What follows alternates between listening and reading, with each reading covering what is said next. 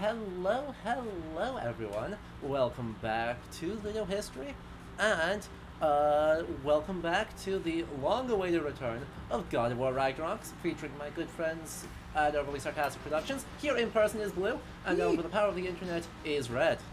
Hello, I'm the ghost in the machine. Ooh, I'm one with the grid. The ghost in the Discord. Exactly. I'm so excited, y'all. I don't know about you, but I have been waiting. It's been over a month since we've been Yeah. all together to uh, play this. Holidays. Ick. Yeah. but I am so, so, so excited to be back and for all of the more Dad of Boy goodness. Because, man, is Atreus going to make some decisions today. Oh, Trace is gonna fuck up. Oh, boy. Uh, but that makes more con- more good mythology content for us, because, you know, we've had an awful lot of game without the, the, a major group of gods. Sad, confused boy doesn't know what to do about godhood. Gone wrong. Again? Okay. How many times is Atreus gonna have this friggin' crisis? How long's the runtime of the game? Oh boy. Boo. So, Oh yeah, so so I'm curious, how much of the game have uh, the three of us had spoiled without spoiling it for the audience? But like, what like what what have we done to you know? So, so to start with, I've done a little fandom wiki trawling, you know, just to sort of see what's supposed to happen later. Um, so I have some inkling of the major plot beats, but no specific details. Yep. Uh, I have played through about probably 80% of the game uh, and have been spoiled on uh, the major plot beats for the rest of the game. I have played through probably about five or six hours past where we're about to be right now in mainline story. I've done some other stuff on the side, um, but I know like one or two major developments beyond that. Um, but I've been trying. I, I, I turned off all of like the God of War suggestions because I kept getting like major things spoiled in the thumbnails of YouTube shorts. I'm like, man, fuck you guys. Yep. Um, so I know a couple things, but broadly, we're we're going to treat this stream as we only know what has happened on stream so far. So no spoilers. That's uh, is that is that a bannable or, or mutable You- you're policy? You're gonna get timed out if Okay. you're spoiling, uh, so please be chill about that. Uh, mods, we love you. Everyone, say hi to the mods for be, putting in very good work uh, on helping keeping uh, spoiler free. yeah. Uh, Yeah. And to everyone who is tuning in, hello, we see you. Uh, I won't have time to thank each and every person because my setup is fully spread out across about 10 feet of uh, living room. Uh, uh, but we see you, and you will all be thanked in credits at the end. I have a question. Yeah. What's this Andreas cosplay stream challenge Correct. that people keep donating to? We, we have some announcements to make. Uh, so, firstly, while you're watching, you will accumulate for free channel points, uh, which you can spend on a wide variety of fun stuff. There is currently a community challenge to make me dress up as Andreas Maler, the protagonist of the game Pentiment, and the person that is the most targeted I have ever felt by a video game. Ever. I gotta know what this man looks like. He is a beautiful 16th century German man.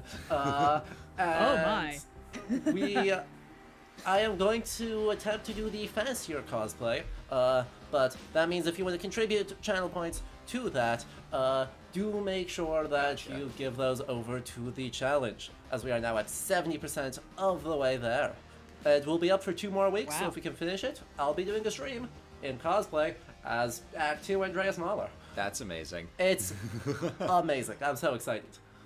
Additionally, though, as we are watching, uh, do consider hitting that follow button uh, to help be notified for all future streams. I do a wide variety of historical content, sometimes with friends over at OSP, oftentimes with uh, other scholars visiting academics. Uh, so, in a couple weeks, I'll actually have a book historian on to talk about more Pentiment.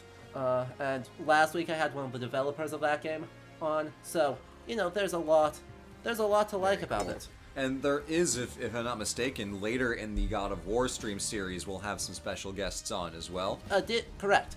Uh, a great example, because this is the resuming of a series. Uh, the first half of, occurred in November and December when the game first launched, and uh, basically, because I have a master's degree in Norse studies, I happen to also have uh, a lot of friends who do Norse studies, and so we are inviting those those folks on a bunch of early uh, career researchers with diverse perspectives on Norse mythology and its afterlife.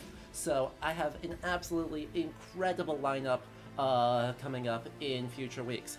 Coming up next week, uh, we're going to have Basil Price, a PhD candidate at the University of York, and the most prolific scholar I know. Uh, we're going to talk a bunch of weird late literature, so if you want to know about, I don't know, early modern Icelandic ballads about the Norse gods, we got you covered. Uh, also, a bunch of other, like, does Beowulf studies, does a lot of uh, LGBT theory, queer histories uh, in Icelandic literature, so phenomenally cool person. I am so excited.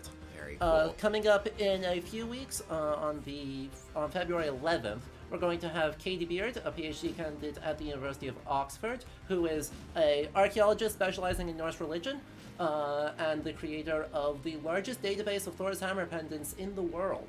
So Which is a wild accomplishment to have. it's like a wild, that's fully bonkers accomplishment, but yeah. has over doubled the number of Norse hammer pendants we're actually aware of as a collective. Wow. It's bonkers. And then coming up on February 18th, we're going to have Claire Mully, also from the University of Oxford, uh, who specializes in the afterlife of Norse mythology. So, kind of taking a retrospective, looking at 19th century uh, literature, uh, sort of reconstructive movements, and the ways in which Norse mythology is still affecting us to this day. While we're playing a video game about Norse mythology that came out a couple months ago. You know, it feels relevant. It's all together. We're in a hype train now, by the way. So thank you to, uh, To- for this dude and other people who've been uh, subscribing and gifting subs. Uh, Yeah. Very cool. Gazishan with that tier 2 sub for the bonus emote. And that brings us to our last announcement before we get into the game. If you particularly like this, do consider uh, supporting the channel by hitting that subscribe button. If you have Amazon Prime, you do have Twitch Prime, and that means you get a free subscription every month, which gives you not one, not two, but 19 of the uh, finest medieval marginalia emotes for you to spread chaos with on Twitch. So if you like that, if you like what we're doing, please consider uh, subscribing or heading over to Patreon in order to keep making this sort of thing possible. Where else will you find a medieval marginalia emote of uh, an Ethiopian Orthodox Virgin Mary with a gun? Yeah, that one's Yeah. that was not medieval. That's 19th century. But yeah, Oh, it okay. is it is Ethiopian Virgin Mary with a gun. Yeah. It's beautiful. We I- curate these for you. exactly. Chad is. Tag yourself. I'm definitely that boggle-eyed owl. Oh, everyone is that boggle-eyed owl. yeah.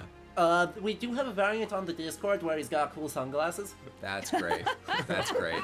I, I, I do love that. It's real good. All right, so um, we will, as we're playing through this game, periodically be making some uh, possible predictions of future plot developments or doing some some lore speculating about the nature of certain things that we might be seeing in game. Um, this is not an invitation to post spoilers. We may say things or take some guesses that might not be right, that might be right, but we'll try to couch anything of like, oh, this could be pointing towards this and this and such and thing. Um, that is, is speculation, so we're going to try to make it abundantly clear, like, you know, we're, we're speaking from only the knowledge of what has transpired on the stream so far. Exactly. Um, yeah, I just wanted to make that, that clear Yeehaw. so that uh, we're, we're on the same page Oh, there. good. And as Gazishan Historian redeemed a marginalia moment where you can spam the entire wall with emotes, people are Ho, ho, tagging ho. themselves with uh, Lindisfarne Bishop lurking, uh, this dude with the dance party, Magistrissa with the rabbits checking their notes, Oh, and uh, providing the full the full line. Uh, Magistrissa, you forgot. Oh, good, you did specify it.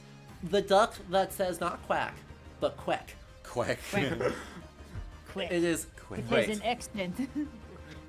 oh, It is- magnificent. They are all joyful. We Yeah. love them. All right. And with that, what do you say we uh, play some God of War? Let's. Shall we uh, turn off the uh, the the hardcore EDM uh, remix that Oh we've come got on, going it's on? so good though. There's It EDM is- going? It's in the background. Oh. Yep. And that music does come to us from Overclocked Remix. Uh, so shout outs to all the remixers over there who uh, make my entire music taste possible. Let's But yeah. see what we've got. Hello. We are currently in Vanaheim. Uh, what happened last we were here for anyone who did not catch the last stream? Uh, let's see.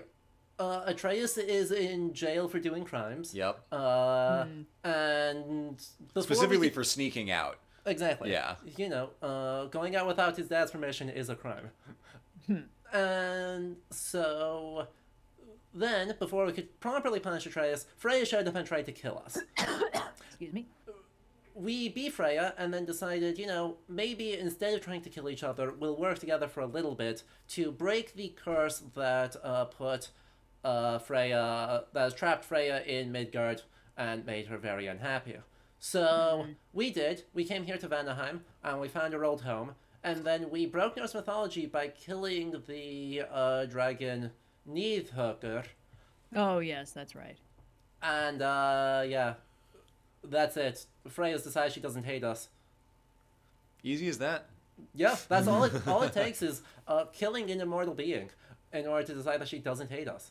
Power To be fair, that is a high bar. That that is is, pretty still a high high bar. bar. Yeah. About asking for help. Big view of my And we could stop now to do a bunch of side quests, but uh, we're not going to do that.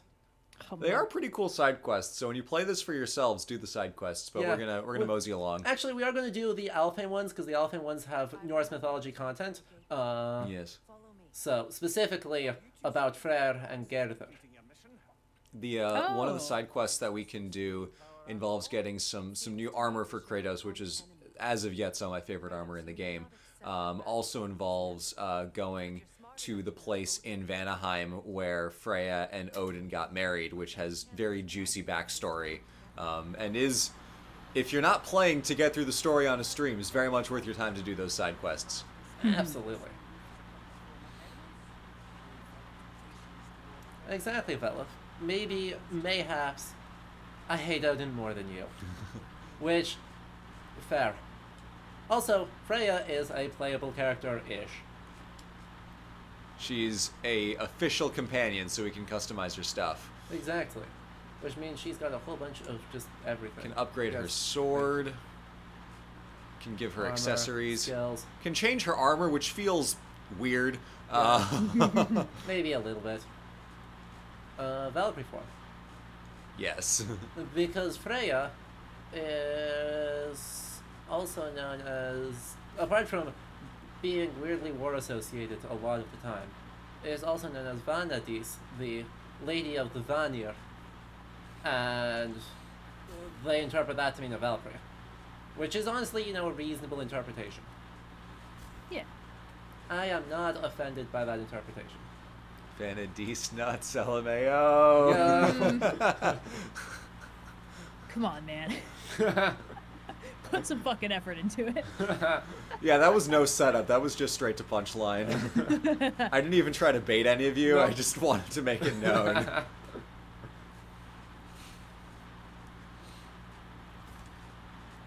Great. Oh god, I, I saw a clip from a streamer I don't watch, uh, where she was like, "Oh man, can you guys believe that the only state that begins with K is Kentucky? It's the only one." And when the chat absolutely filled with people yelling Kansas, she got really close to the mic and says, "Kansas dick fit in your mouth," and then everyone got got real hard. So Wow. Red, you, you might have in. also seen Point Crow do the same thing once, and it was very Oh, funny. really? Yeah, Point Crow's done that too. incredible. Oh, good, we're back to the magic chisel thing. Yes, we are, but it's less bad. It's at least less bad because you don't have to locate things. I will say, Chad is saying the game is very quiet. The game is Um, quiet. We can fix that. Uh, um, but the game is quiet. Okay, yeah, no, the game is just quiet. We can. Fi- so next time a big combat section starts, uh, y'all will better tell me to, that the game's too I'll, loud. I'll remember to, to turn it down. Because, yeah, it is Well, we can decide definitely at going to the be too loud again. This but that's should okay. get us there if we can clear those vines. And I believe what what we do is we go sigil arrow, and then we go this. Nope. Then we go this. We have to chain them. Oh yeah. Boo. How dare I have to engage with the game mechanic? There's a fallen log in Nice. the river. It has something on it I don't recognize. Uh. Boo. We're clear. Very fun way to tutorialize that Freya suddenly now has sonic arrows. Exactly. Achoo! Freya Sounds magically gets sonic Skillful. arrows, and Tears Atreus really magically alive. gets sigil arrows, Aye. and uh, Not exactly question it. shipshape. He sleeps in a broom closet now, but he's adjusting.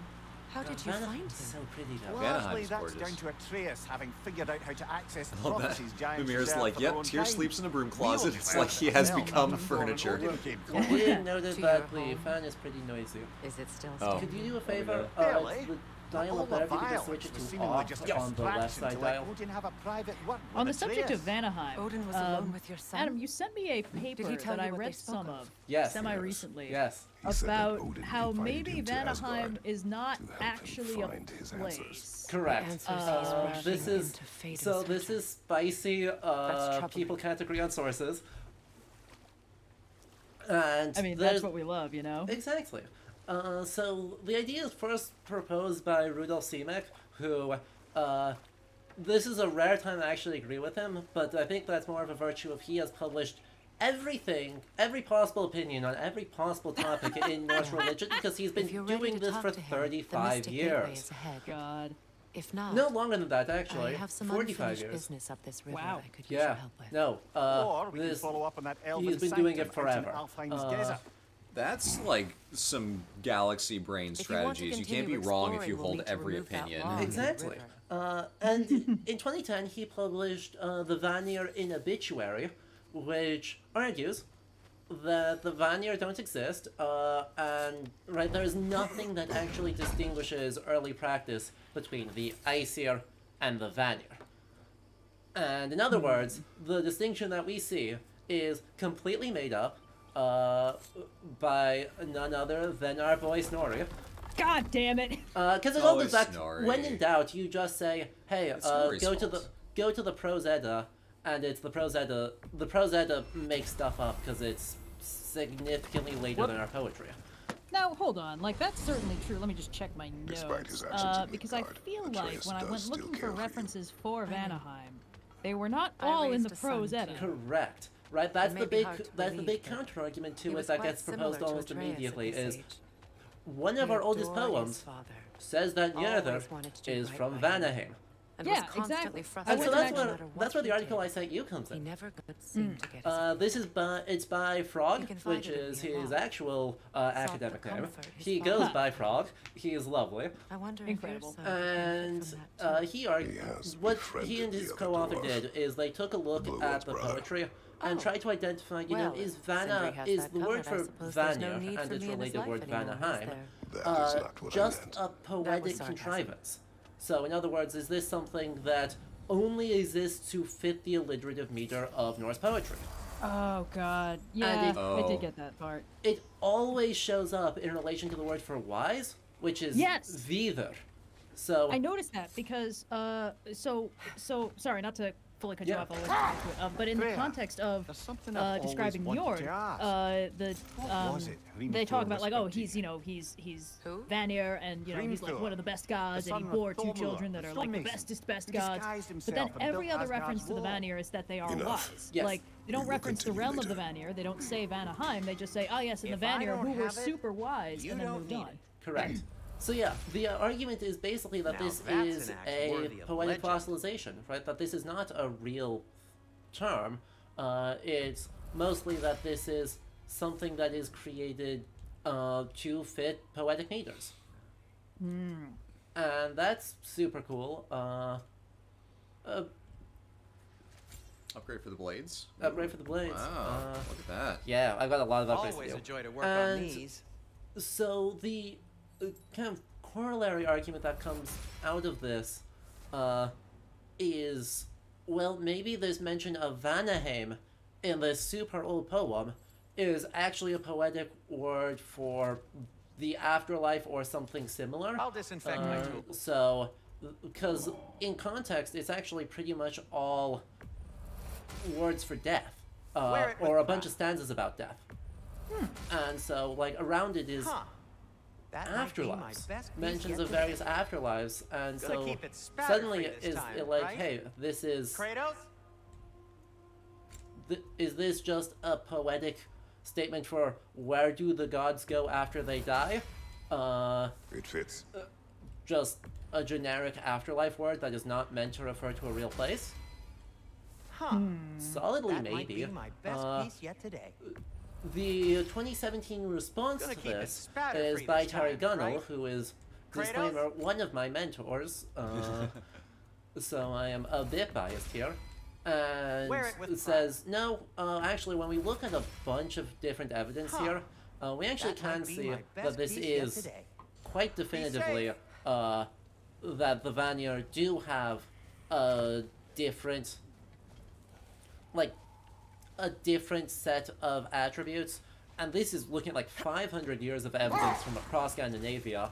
Compels says, no, we can see some, like, a different nexus between Freya, Freyr and Odin that suggests that they are actually conceived as two, said to you like, different classes of being. So this is still contentious in that there One have been four many articles about this occasions effort. Odin saw fit to Uh, involve but me in hey, that's actually pretty good for Norse studies. I wish I could say that was the worst of his husbandly habits. So yeah, that's the What wager? that is the I've summary of the summary story, of brother. the Now Vanir she might not exist. Yeah. I Great. I, I There can isn't like kind of tell. understand I knew the nothing logic of of, it at like oh it's surely it's because a Odin didn't expect poetic to lose the convention because there's a lot of that kind of stuff in We will finish later. Greek and to a lesser extent Roman poetry where you know you have swift-footed Much of the Achilles. sand has been He's cleared called that because it fits the meter. What I don't want to do is apply a bunch of Greek mean- logic to a, a Norse problem, oh, but like I can understand like eh, it's, it's not- not the craziest thing. We've seen it happen before. Sometimes It people just need to make their though the poetry fit. It, it happens all the time here. Why? Uh, Luckily for us, Norse meters make Greek meters look, uh, easy. Yeah, that's and now can so- unseal it. My, that is lucky. Because in Greek, one of the most complicated forbidden is sounds like dactylic beyond. hexameter, which is a lot more complicated than territory, iambic pentameter, but it's still like another storm to at least regular. Shakespeare, you weak bitch. It has some. Well, it's like Shakespeare's like, but um, but I mean, th- there's no meter you can really do in English that makes sense. That's more complex than iambic pentameter, and even iambic really starts to stretch the the words in I some places and, and and make I the order kind of go realm as backwards to get the sentences The to sound pretty the way you and full need. of I mean, So- Shakespeare made up his his fair share of weird shit that too. era Yeah. Exactly. He had to, and it worked. It worked great. it worked That's why me. what I respect most is um, this land uh, will take more than a pair oh, of fuck, singing uh, half Alice in Wonderland. But I have to uh, believe in the where long run, you get the Jabberwock poem, which is like all of the nouns in that are made up, Yep. and most of the verbs. Exactly. Just make something that aesthetically sounds good. I wish we didn't have to slow walk through that. Uh, The Forbidden Sands. my chariot pulled Well, by best wolverines start looking is for a not way underground. sufficiently good. Um, heck. Keep a lookout for a cave. I forgot there was another. Storm. Yeah.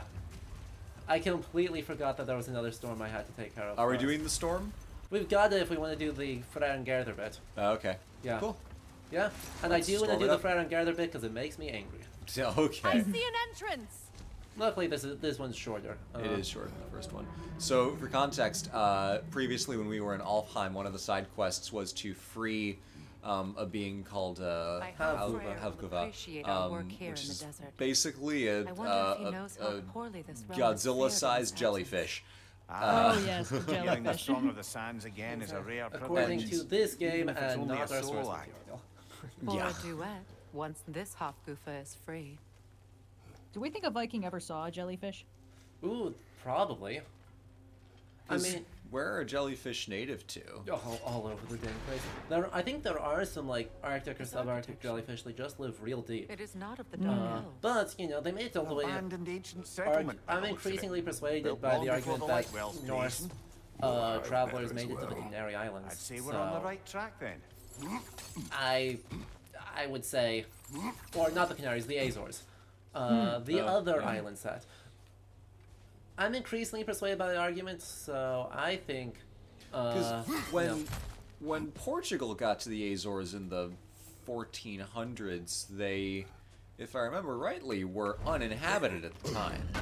the The Canaries had people on them, but the Azores were were empty. Y- yes, except now we that we have genetic testing, we've tested the, they've tested the mice on the Azores, and they're more closely related to Scandinavian mice than they are to Spanish mice. That's amazing. So, So then clearly the implication is that like some some Viking sailors showed up, tried to settle it, either left or died, and then, you know, 400 years later Portuguese Could people are like, from "Hey, because that's what Portuguese sounds like. Yeah. Uh, Clearly. um, As and, we all know. And came out like, oh, there's no one here. Let's let's party. Let's go.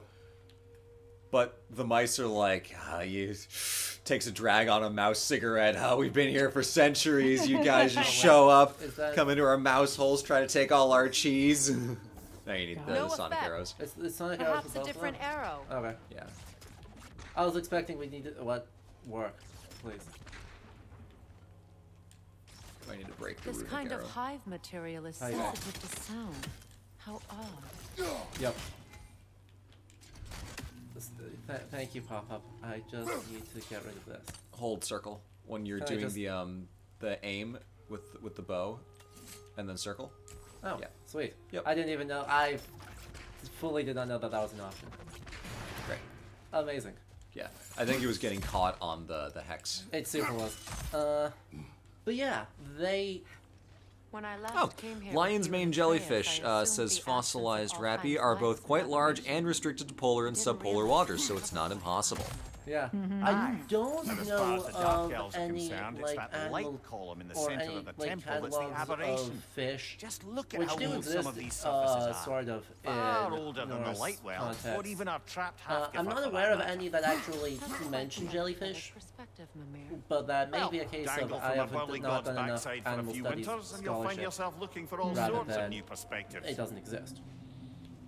More hive, but denser. Uh, someone asks, uh, the Gazitian or Gazitian historian, related question besides England, Vinland, and I guess the Azores, have there been any other major. Viking settlements? This is a rough question because the answer is yes and everywhere, but Yes. uh, I think maybe we can refine the question to understanding that the Vikings went basically everywhere in northern and western Europe.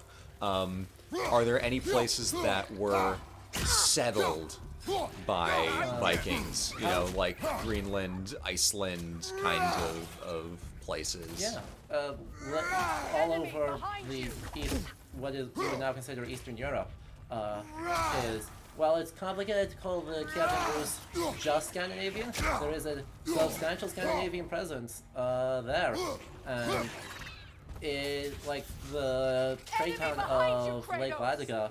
Ladoga is the source of a significant portion of You have to go Yeah, in the there's thing. a and- thing. Yeah. yep Yeah, so Eastern Europe um, was the site of you know early proto um, Russian Ukrainian um, organized societies like the uh, the Kievan Rus on a much larger scale than what had ever been seen uh, before. Um, as a result of the, the trade routes, you know, up to Scandinavia and then Yeah, down to the Black like- Sea and on towards Constantinople. Um, most- So the start of like where, where Russian history or Ukrainian history tends to trace its own start is to this, you know, quasi Scandinavian society, the Kievan Rus. Incoming poison! Back Yep. Uh, and like what I was saying there is like most Arabic dirhams in Europe come not from Spain, but from Lake Ladoga, which is in modern Russia. Uh, barely. It's almost in Estonia. Yeah, so that's uh, that's the new one that's been getting a lot more scholarship, in part because since the fall of the Soviet Union, we can do a lot more research over there. Sure can, but- well, that just missed. That's right. Oh, I never do that. I always forget about that. Um, so that's been uh, a huge uh, boom in new scholarship in, in that since the, the fall of the USSR in the 90s. Because it's easy to think like, yeah, you know, we kind of kind of know everything we're gonna know, and we're just basically nitpicking at this point. But there is, you know, brand new scholarship going on that is fundamentally transforming our understanding of, of very large civilizations. Um, that's, that's been happening in the last, like, you know, 10, 20, 30 years that we don't usually think of. It's like, oh, you know, it's not like we discover a brand new ancient Rome. But uh, our knowledge of places like the Kievan Rus is, is exponentially increased um, since we've been able to actually start doing like real archaeology over there in the last 30 years. It's it's pretty great. Uh, I know some folks who have done archaeology in that region, uh, been on digs, uh, and they have a lot of fun with it. Shocking. Okay, uh, so we've had uh, 6,000 channel points towards the. Andreas Cosplay Stream Challenge. We love that. Um, and someone said the Rurikids, right? Yeah, Yes. the Rurikids is another term for the Kievan Rus, specifically defining them as um, descendants uh, and the followers of, of King Rurik. Exactly. Who supposedly was it invited by Slavic peoples, Sure. according to the, according to a Slavic chronicle. So you know, this is not Norse saga made up. This is 12th century uh, chronicle. Light elves don't often travel underneath I mean, the like, barons, That's so, like, obviously is bullshit. Like, it almost sounds like, yes, we were invited into Ukraine to help organize. Like, get the fuck out of here. That's so made up. I assume they're only here to Uh, someone did ask what OSP Well, thought of the new Tom Holland, least Mark Wahlberg. Uncharted movie. Uh, Oh which, if we indulge, would be the second time in two days we've talked about this movie. Yes, shockingly so. Second time in 12 hours, Red. yes, yes. this was a last Uh, night conversation with some of our other friends. Yeah. Incredible. Uh, Uh, what a, of all the th- like that movie's so forgettable. It's that astounding it comes up this often. Exists, yeah. Sure does. That movie peaks in the opening scene, and it knows it. That's why it's the opening scene, Yeah. Because it, it's just that bit from do one of the- the Uh, games yeah, this is the where other one. Twilight Yep. Where Nathan Drake is like, uh, you know, falling out the back of a cargo plane, ta- like tangled in the netting. Oh God, I Which hate the tragically is the only memorable part of Uncharted 3. Because, like, Uncharted 3 is Yeah. not bad, it's just so forgettable. Yep. Uh, Yeah, I mean, I think the, I don't know, that movie feels huh, empty. You know, it's one of those movies that's setting up only the sequels. Like, th- very little happens in that movie that matters. Uh, and Look all the characters spend the entire movie That getting to where like we sound, know they have to be. So it, it's sort of like, um, it's kind of like Solo, a movie that possibly only I watched. Good eye. Uh, Let's in that continue, the whole movie is just you know okay we Han Solo needs to end up in roughly his starting position. Uh, he needs to be that character. He needs to have that ship and that friend and that general vibe. So the whole movie is like, oh, how's he gonna get from point A to point B? Um, and it only kind of worked. I'll go to bat for that movie. It's not terrible. Like people just didn't want to see it because it's like, oh yeah, I'd love to just watch a movie about you know this character I think is more interesting after all of his character development. Um, I, so they tried you, to do the same thing for Uncharted, in that it was like, oh, it's a prequel. Look, it's it's babyface Tom Holland as grizzled Nathan Drake, and uh, and, and Mark Wahlberg as Sully before he got the mustache. Yeah. yeah. Uh, yeah. and then the whole movie getting from point A to point B, and then at the very end, it's like, we are friends now. Can't wait for our next adventure. And Yeah. it's like, yeah, fucking sure. Aside from the prequel problem, I'll to try to, to bring it back to like comparing, you know, Uncharted showing 4 him. to or uh, uh, Uncharted movie to God of War. The difference between something like that, which is like you know vague historical vibes. Oh, you can do punching too. Uh, you know, vague historical vibes in the Uncharted movie, and something like this is where even like when God of War also gets things wrong, sometimes for uh, a justifiable reason, sometimes just because it's like, well, we decided to do bullshit. Um, with this game, there's a lot more to chew on when something's wrong, and the implications for the choices they make have a lot Behind you! Watch out! broader and more significant consequences than just like in something like the Uncharted movie, where it's just so empty and weightless feeling. Yeah. I, to, to- to attempt to bring it back, um, it is not only pretty bad, it also isn't even anything to talk about. It's just Yeah. nothing. It's empty. It's got a slightly decent parkour sequence in the middle, and then that's it. Behind you! Watch out! And it has Mark Wahlberg in it, which is not And a lot of like really weird product placement. I don't even remember what it was for, but it's like, oh, they built like a Jimmy John's on the entrance to the underground facility we need to get into. We better go to this Jimmy John's. That's just the Yep. whole. Just goes on for for a surprisingly long time. Um, someone comments asking about the thoughts on the supposed God of War adaptation by Amazon Studios not covering the Greek saga. I feel like it's missing an important part. I I, think the more crucial element here Valkyries is will allow that it's being developed again. by Amazon Studios, um, which is an immediate death of sentence. Alfheim fell Uh, Yeah, they'll kill it for a tax break. Yeah, uh, well, that's that's, uh, that's, um, That's mostly Warner large. it's more, but, mostly know. Warner Brothers, We're used to but the problem with Amazon there's nothing for Studios coming out of. Lord of the Rings is a lot of people who worked on it were like, children from a harsh look, this studio is run by yes men who have no idea what they're doing, and we're just given a tremendous budget to try and buy the entertainment industry, thinking that you can just throw money at a project and make it successful. Um, and even with the Amazon Lord of the Rings logo plastered on every single Amazon package that everyone got for two months. Um, you can't do that. So I don't I don't have really any faith for the God of War adaptation because I don't I don't trust that Amazon Studios can do it. And this is not just my opinion. Um, this is basically me uh, giving a a, uh, a, a less uh, informed interpretation of what Daniel Green said when asked about this very same Ah. question. Because he's like, "Look, ain't ain't good." So uh, you can watch his video on that for, for I more. also feel like, in terms of just practicality, God of War is similar to like Last Airbender in terms of how much work and how much digital replacement you would have to do to make any of the visual effects work. Because Yeah. like the whole point, like God of War is in like the same evolutionary I wonder clade as like the Devil May Cry and Bayonetta and all the other spectacle life fighters where it's the like the point is that this is In insane. breathe, That this is a must pass on their ridiculous kind of combat that is wildly unrealistic. light, Where you can like die. juggle bad guys on the bullets you're shooting out of your gun, or in the case of Kratos, you can like spin your way That through this can live on ridiculous through th- this room that's just jam packed full of bad guys and just turn the another whole thing into paste. Like that. I know what choice I would make. You'd basically have a face actor for only the dialogue scenes, and then you'd have a really nice high res 3D copy of that guy's body, and then it may as well just be a video game cutscene. Um, yeah. So, watch The Last of Us instead. I've heard only good things about it, and I've seen some uh, some highlights that make me think that I shouldn't watch it. I, Red, Yeah. I will let you know how it is. I'll watch it when it comes out, and I'll give you the cliff notes. The thing Um, is, like, I I've talked about this, but like the one thing I have like phobias about is like weird shit trying to grow in a person's body.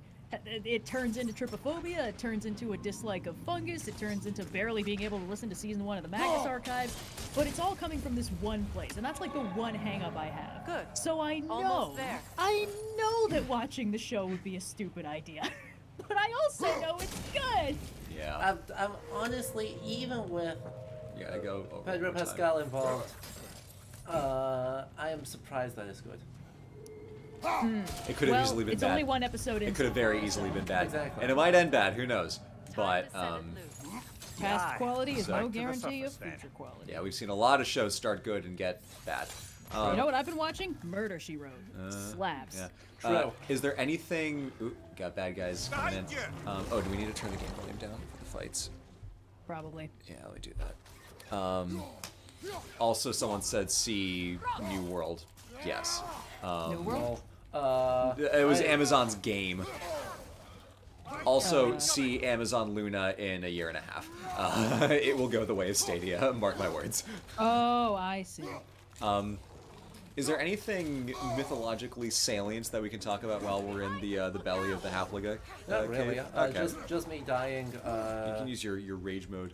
true, I do have that. I cannot see that because my camera is lit. Well, Oh. oh. I have Valor form. Yeah. And then I proceeded to completely get got. Uh, please stop spewing nonsense everywhere. Uh, ow. Yeah, I.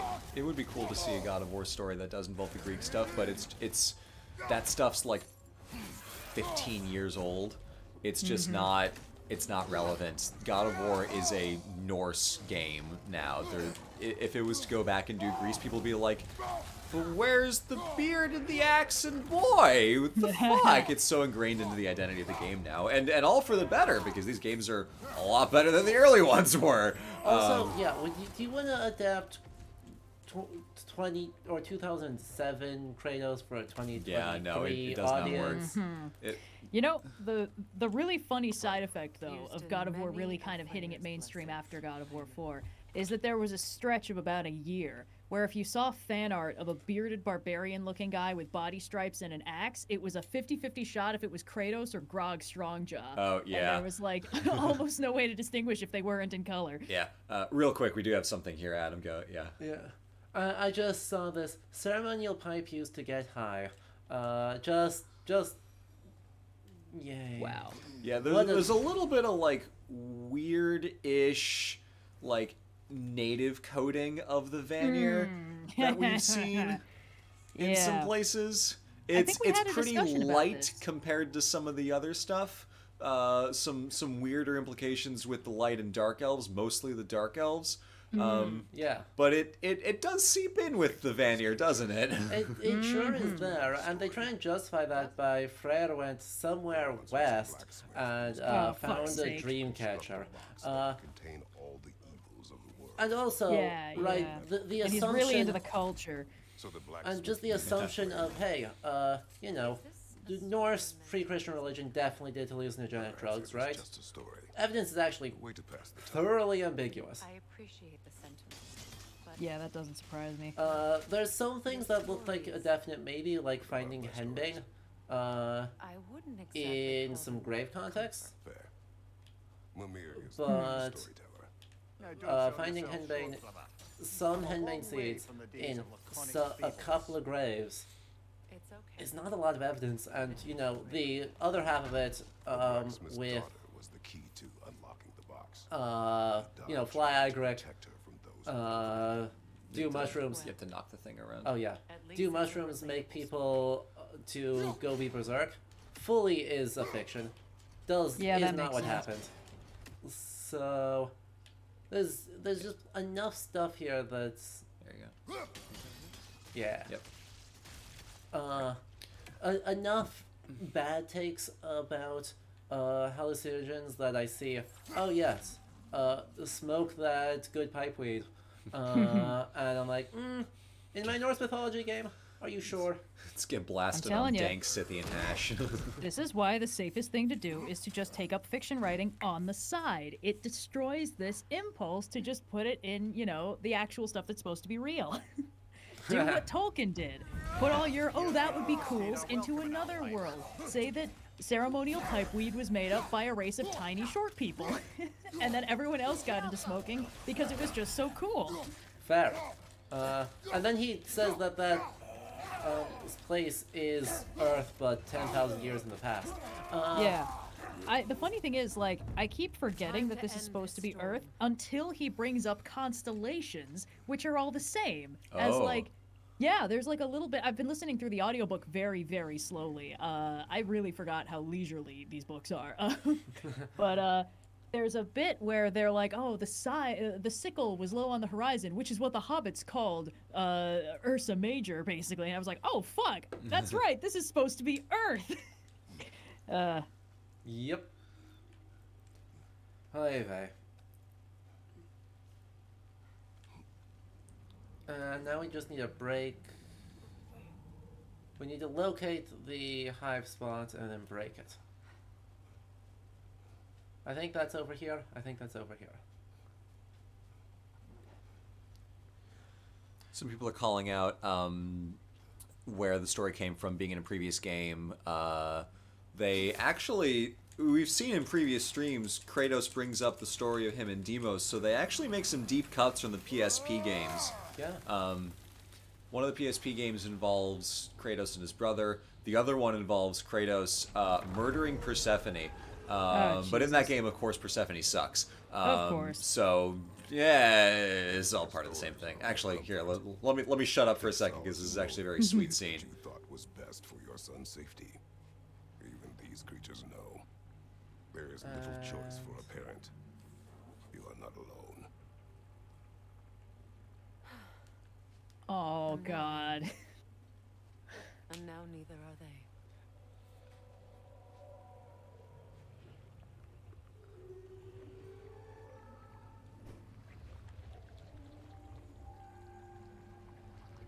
They're so pretty. That's such a sweet conversation. I love what they've done with Kratos and Freya's relationship in this game. Didn't know I could get misty. Uh, it's it's really good because like it is my favorite bit of how they are playing with uh, the mythology, doing something that is either very old or very late.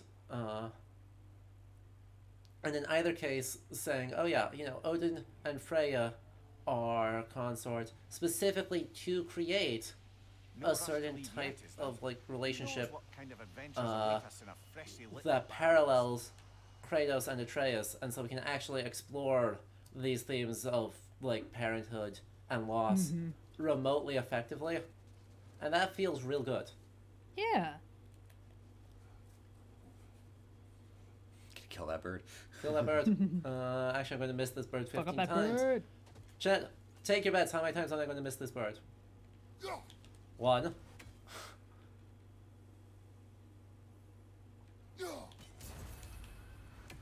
Second try. Let's go. Statue of my brother. First try.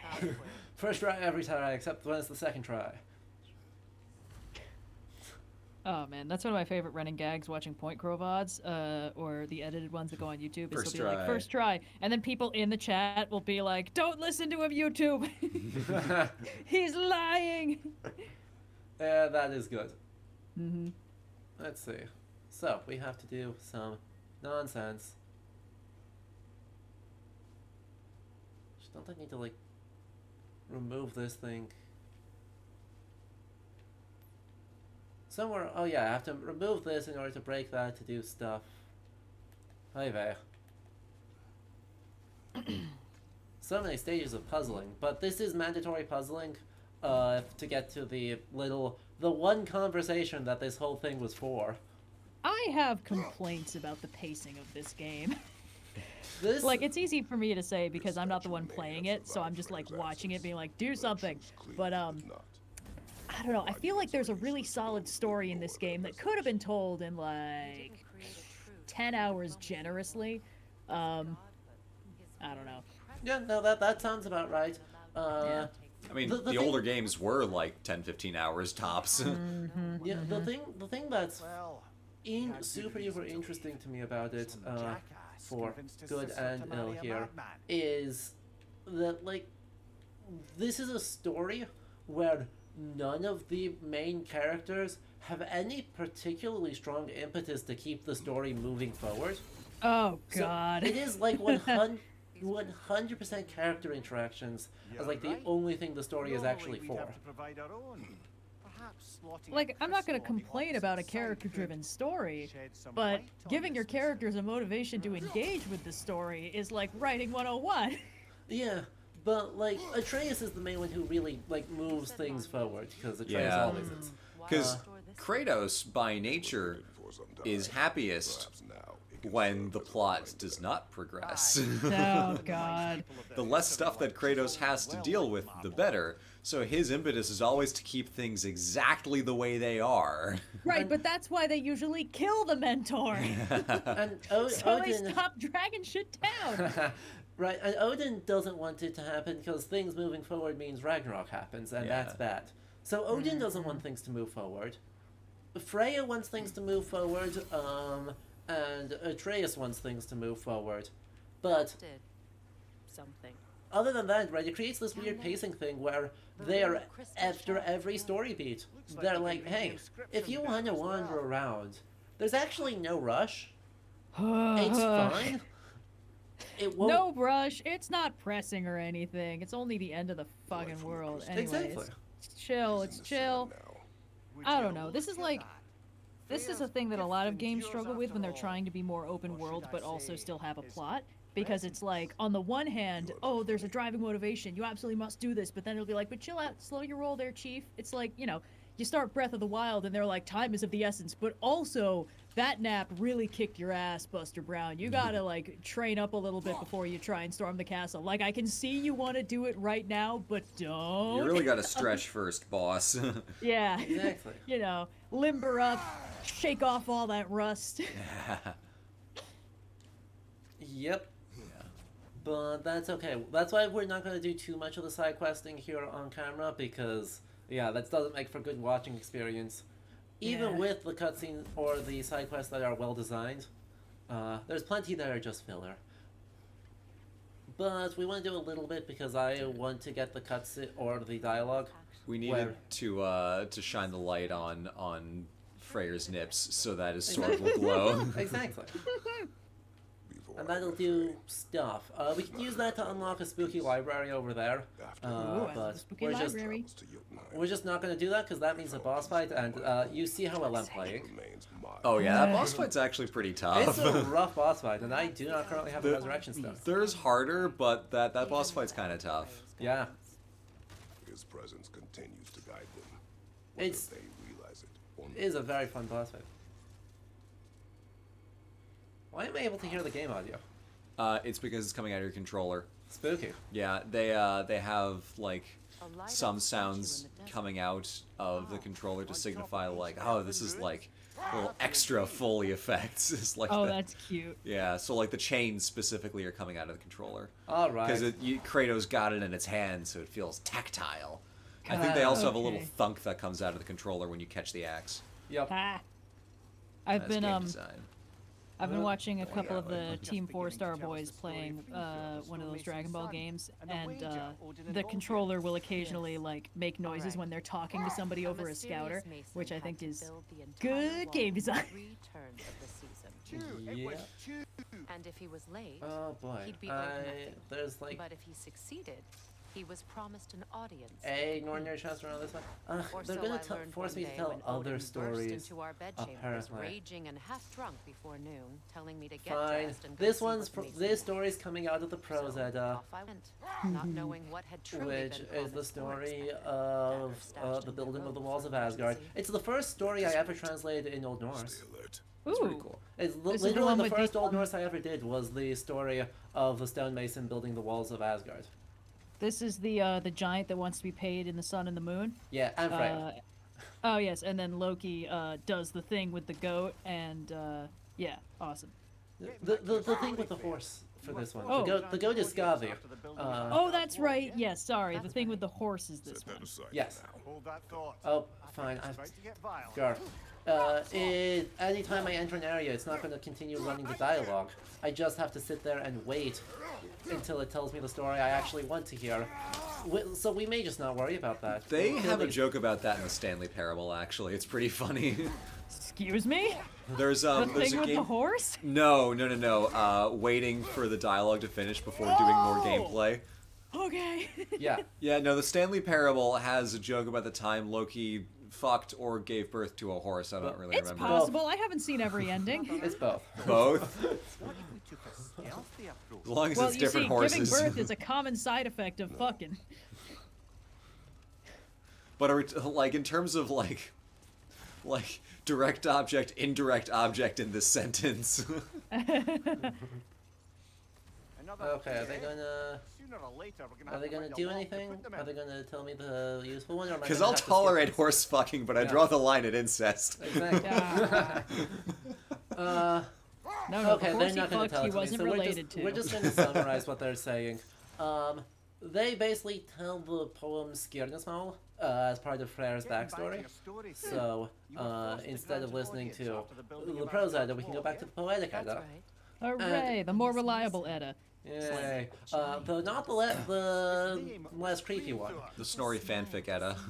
Cause No, no, these- that would be the the, the prose Edda. The Yeah. poetic Edda is the older one. Yeah, theoretically. Uh, had killed his but- So, the thing is, know that one day would Freyr's wife is I Gerda, who's a Jotun woman. too. Uh, He gave me a and in if he somehow the knew uh, her and could poem, what happens is that Freyr sneaks up to Odin's seat, which potentially implies that Freyr is considered to be Odin's son according to this poem, but that's a whole kettle of worms.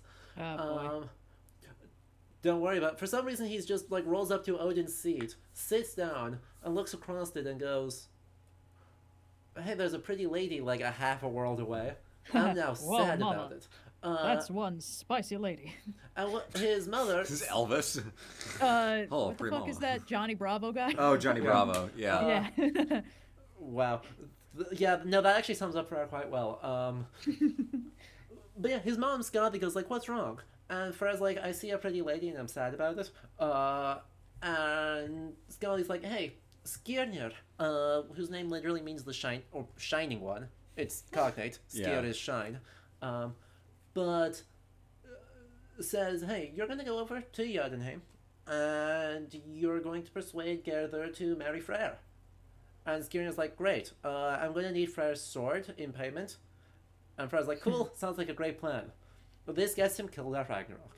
Uh, what doesn't get you killed at Ragnarok? Uh, This that's is like that. those things that are like, oh, you know, eating red meat shortens your lifespan. Everything shortens your lifespan. The oh, this linear is your progression of time in means your Ragnarok. lifespan is Meh, meh. shortened. It also kind of feels like one of those Henry Stickmin games where it's like, give give to your sword. Oh, you died. Damn it. yeah, yeah. It's a Or, uh, um, teleporter. uh, te- Freyr's sword. Yeah. Yeah. You use Yeah. a teleporter, you use Frey's sword, you use a GameCube controller. Uh huh. yeah. Yeah.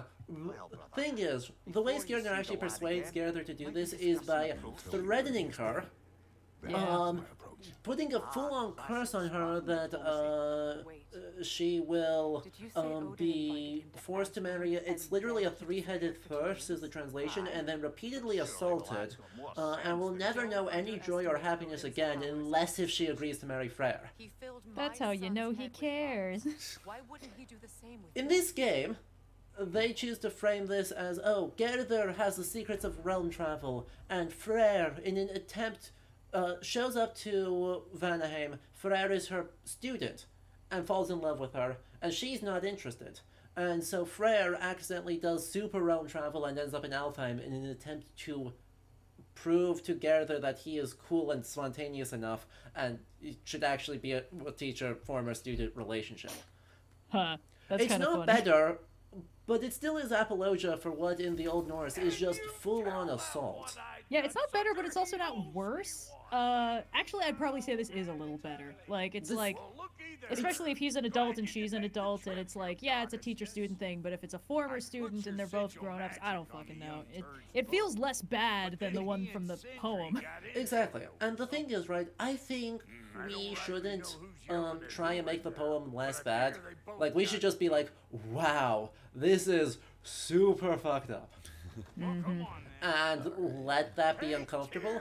Because this is not a mythology that should be comfy. Uh, Yeah. Because this is a fucked up society. So-called study over yonder. You're sure he won't? mind? So yeah, uh, I am not a fan of that. Um, but that thought out of the way, uh, Atreus. I think Uh, they're not trying to do apologia for the culture. They're just trying to make Freyr a better dude. Exactly. Um, So you're back. Are you ready to answer me? About what? Where did you go? Who did you see? Was it Odin? What? So this conversation is about Loki having whisked himself away to what we as players know No. is Ironwood. course not. Kratos does not know that. Yes. Loki So has been informed to not tell anyone about My Ironwood. my life. Uh, where, where does this Why line come out of? trust me? He I just love miscommunication, dramatic irony. the truth is, you're being a complete asshole. Laddie, you know that's no way to change a man's mind. He doesn't have any faith in me. It's fine if he keeps Uh-huh. secrets. It's fine if mom did. It is not fine. Her secrets ought to be stubborn this path. Oh, okay. So you don't believe in her anymore either? This is not about your mother. What you have done is lie. uh huh. Wonder where I learned that. That's quite enough. Since when do you always take his side? Since he became the one making sense. Best line from Mimir since he became the one making sense. Thinking about going to You're only thinking about making a a bad reason. decision. There is no good reason to go to Odin. He'll only cloud your mind. But I'd be going for us. I, I gotta stop something bad from happening. Something bad did happen. Look at me, at Freya, at Tyr. Odin did this to us. What's got everyone caterwauling all? Brok's like, what are we screaming about? to go to Asgard. Asgard? I like that Mimir is occasionally like, "Bitch, I'm a severed head. How much worse can it get?" Exactly. Are you going to continue to lie and keep things from me? Uh, I remember being 15 as well.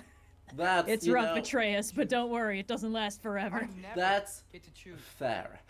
Just leave me alone. While Go with me. Listen! this is all, you know, that was not part of my experience of being 15. Hey, Sindri. This particular bit, not not so much part of my experience. That that's rough. Look, I never turned into a bear, but some days I wished I could. Yeah. You know? Loki just hit Sindri pretty hard in the head oh, there. Rawr. And, oh, Ooh. Only instance of Kratos calling Atreus boy in this game. yep. And he's angry. Oh boy. Only I was faster. Whoop, there he goes. And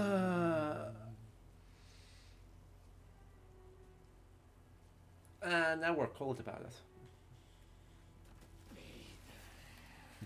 Two dads, one mom, three uncles.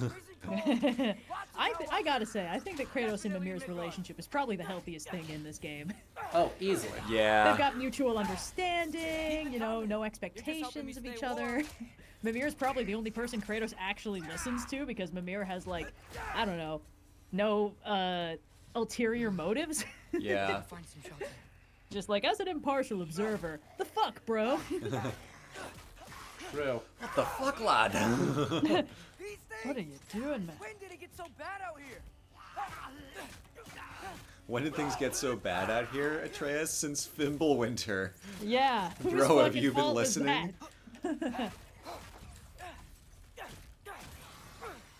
Yeah. Yeah, things are not looking so good for uh, Midgard. Uh-huh. Chat, I have First- terrible news for all of you. First time chat, darling Dr. Lambchop, get the poor kid a blanket, some cocoa, and let him have a good cry. yep.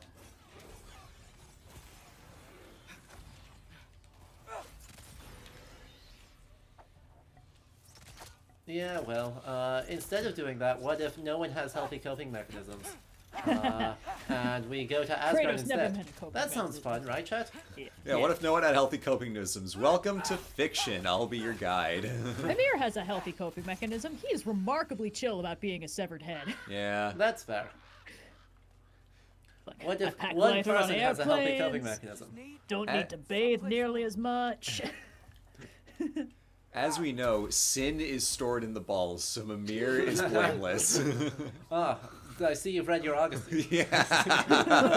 That doesn't look good. And that's why, as we all know, women have never sinned. Wait, hold on.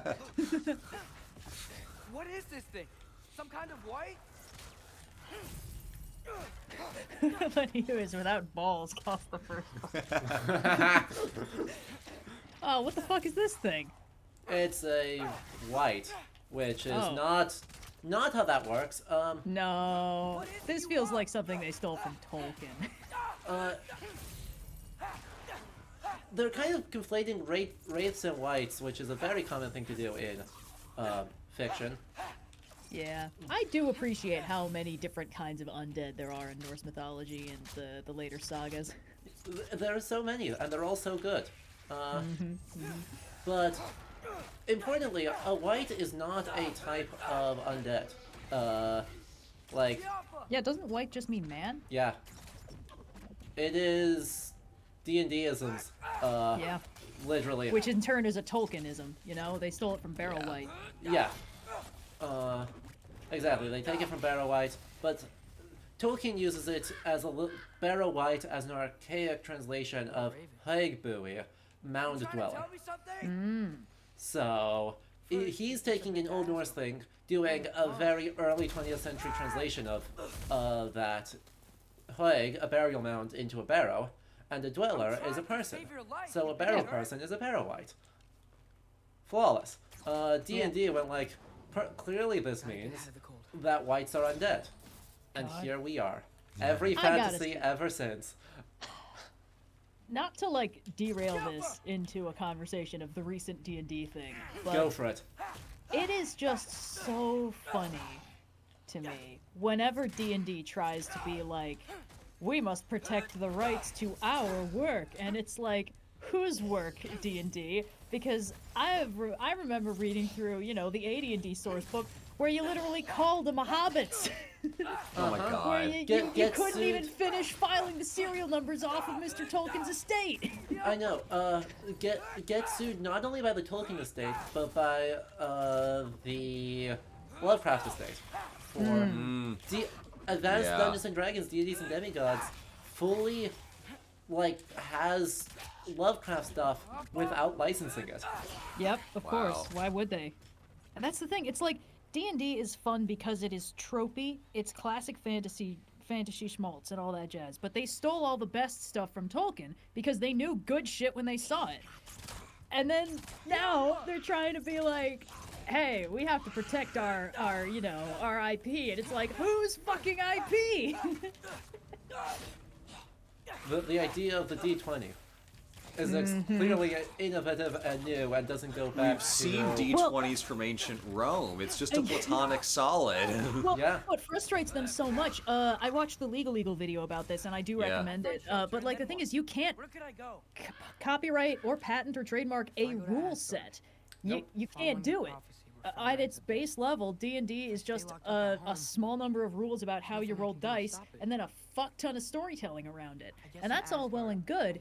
But the thing is, you can only really defend your right to own that story Find out his if it's actually your story. All of this. Yeah, Oh, but what, what they're actually doing in the in the new OGL is they're really hmm. honing in on the virtual tabletop. So they're Right. focusing on the licensing of a technology Wait, that are is those red crucial to a lot of third-party work. right. So, like, I think that's a place where the Legal Eagle video falls short.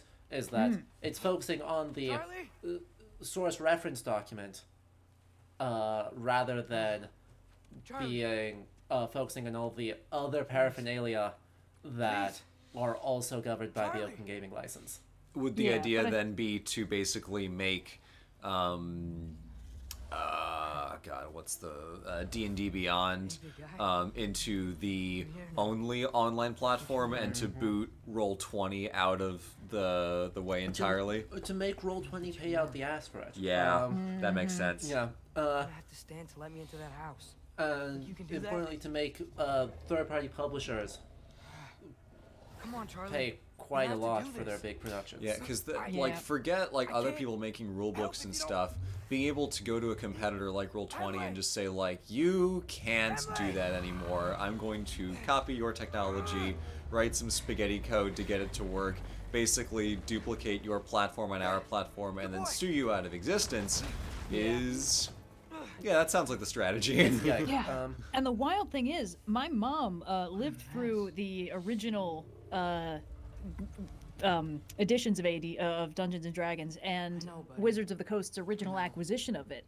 And the original OGL was a peace offering from Wizards of the Coast to basically signal to everybody that the previous owners of Dungeons and Dragons w- were no longer going to be suing everybody who made homebrew content, which was a thing that they were doing. It was why D&D was withering on the vine in the 90s is because they were threatening legal action to everybody who homebrewed anything. Uh, which they didn't have the rights to do. But that's the thing. When it comes to legal stuff, Come on. oftentimes you win if you have more money to burn, not if you're to make a actually right. And in this case, they had more money than any of the individual nerds at home that they were threatening legal action with because it's so expensive just to go to court. Uh, so basically, nobody wanted to deal with father it. Nobody wanted to buy it. Nobody wanted to play it. Uh, so when Wizards bought it, they were like, haha, we're really sorry about that. Here is a still with the uh, wings on the wall? official legal agreement that you can sign that means it's totes okay to do this to prove that we're not going to pull that shit. That's the only reason the OGL existed because a few people have pointed out that the OGL actually gives creators fewer rights than they just automatically have in terms of, you know, what you can and cannot copyright in a game. Like you could do whatever the fuck you want and Wizards of the Coast can't do shit about it. But if you sign Soft the lock. OGL, it's like you Uh-oh. you kind of, you know, it's a little bit limited. Uh, but the whole reason it was ever made is to be like, load. hey, we're really fucking sorry about that. yep. yeah. Oh boy. Uh, well, we had to reload a checkpoint. Um, Um, I'm actually going to because- Did we get stuck? run to the restroom. No, we just got soft locked. yeah. Try to do a cutscene, but it didn't work. Yep. Uh, I've heard about this. Yep. Second, camera, camera spookiness. Uh, all right. Uh, so, in the meantime, uh, chat. If you played Elden Ring, you know for a fact this is a dog, and the dog lives, and I think we just we need a blessed dog for the dog living. Dog. Should close that window. If we're snooping around. Freya hasn't been checking on you? Exactly. And Right. you know, while we're waiting for Blue to get Busy back, hunting us uh, this is a great time to Come on. repeat the announcements. Let's get it Uh. Yeah. Right. So, firstly, Able to make a uh, fire from all this mess. thank you, Red, both you and Blue, for joining me for this. Uh, Of course. It is delightful as always to have you here. Uh, but yeah. you know, as everyone is uh, uh, tuning in, we do have some announcements to make. Uh, firstly, if you are enjoying this, of course, make sure you hit that fo- little follow button. Uh, and consider subscribing to the channel because it helps a lot to keep having more guests. I don't just have OSP on, uh, we have lots and lots of guests uh, coming up, and Yeah. you know it helps make those happen. Keep getting us new interesting games. So if you want to support the channel, do consider hitting that subscribe button. Speaking of guests, this is the return of a series, hence why we are starting halfway through the game. Uh, we get we're having guests on in future weeks who specialize in various aspects of Norse mythology and are like you know professional academics, either uh, largely working uh, on doctoral theses on various aspects of Norse mythology and its reception. So we have an incredible lineup. Uh, if you want to join the Discord, we do have a full schedule there. Uh, but coming up, you know, one week from today, three weeks from today, and four weeks today, we're going to have different guests coming on who I am unbelievably excited about having. Yes. Good. Uh, next up, uh, the as you are accumulating channel points, there, uh, which you do for free by watching, there are loads and loads of things you can donate them to. But there's currently a community challenge to make me do a cosplay stream as Andreas Maler, the protagonist of Pentiment, uh, which was my favorite game of last year, the best history game I think I've ever played. And if you want to make me dress up as an extremely fancy 16th century German man, uh, this is how you make that happen. So do consider donating those uh, channel points to the cause. We're currently at 75% of the 500,000 channel points that we need. So It wouldn't let me donate more than two thousand. I know it is 2,000 per day per person Bah. but it can be every day. it is very fun. Uh, and to everyone who has been tuning in throughout this uh, and subscribing thus far, we appreciate you. There will be credits at the end where we'll thank everyone, but know that you are seen and deeply, deeply appreciated for each and every one of you. And with that, I think we can get back to the game and we'll have uh, another ghost coming by very, very shortly. Woo. Now, let's see if we softlock again. Yeah. Wow. We did not softlock this time. Beautiful. oh, thank Chat, goodness. we're good. Never seen anything like this around here before. Hey, look, it's one of those cool flowers from Vanaheim. From her home in Vanaheim? She must have. Stretch really goals get someone to dress up as Caspar, get a Schlau or a Staub. True. Stretch goal, have a child steal my hat on stream. You're not wrong. I'm assuming that's a Pentiment reference. It is a Pentiment reference. We were having lunch with an Ethiopian monk, and a child stole our hat in the middle of his lecture about how cool Ethiopian art is. It was very funny. She kept the hat for 25 years, for the record. Oh. It was amazing. Adorable. But no, we are going to do the act two. I'm Okay, going to try for the act two. Yeah. Andreas Maler cosplay, which is unbelievably fancy. Like the man has drip. Uh, so I'm excited. back to check on her house. To check on you. anyway, That's not an excuse. we are now that the we're going to make the dog actually be okay. Uh, and light up one teeny tiny fire using two pieces of paper, That'll do it. and it'll make everything fine. Some satyr magic bullshit.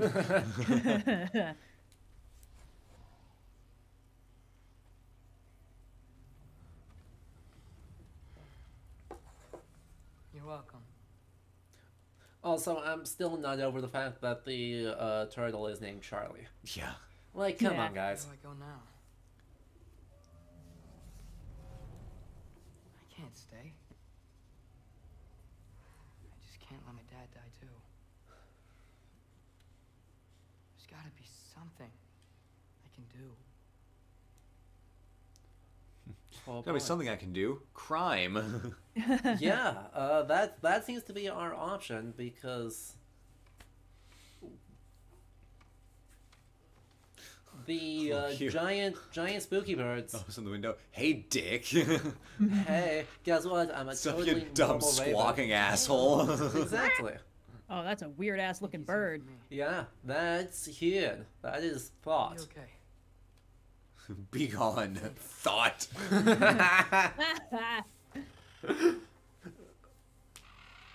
And uh, yeah, apparently we Atreus makes the uh, genius idea of leaving the window open immediately after saying it's cold and we should close the window. He's very small and he has no money, so you can understand the kind of stress he's under.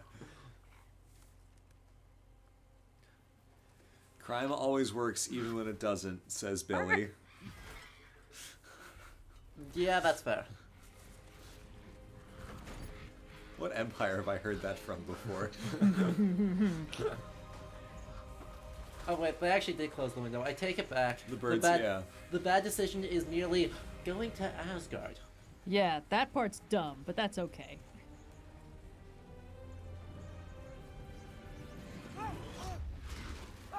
Uh, At 500 feet in the air. Splat.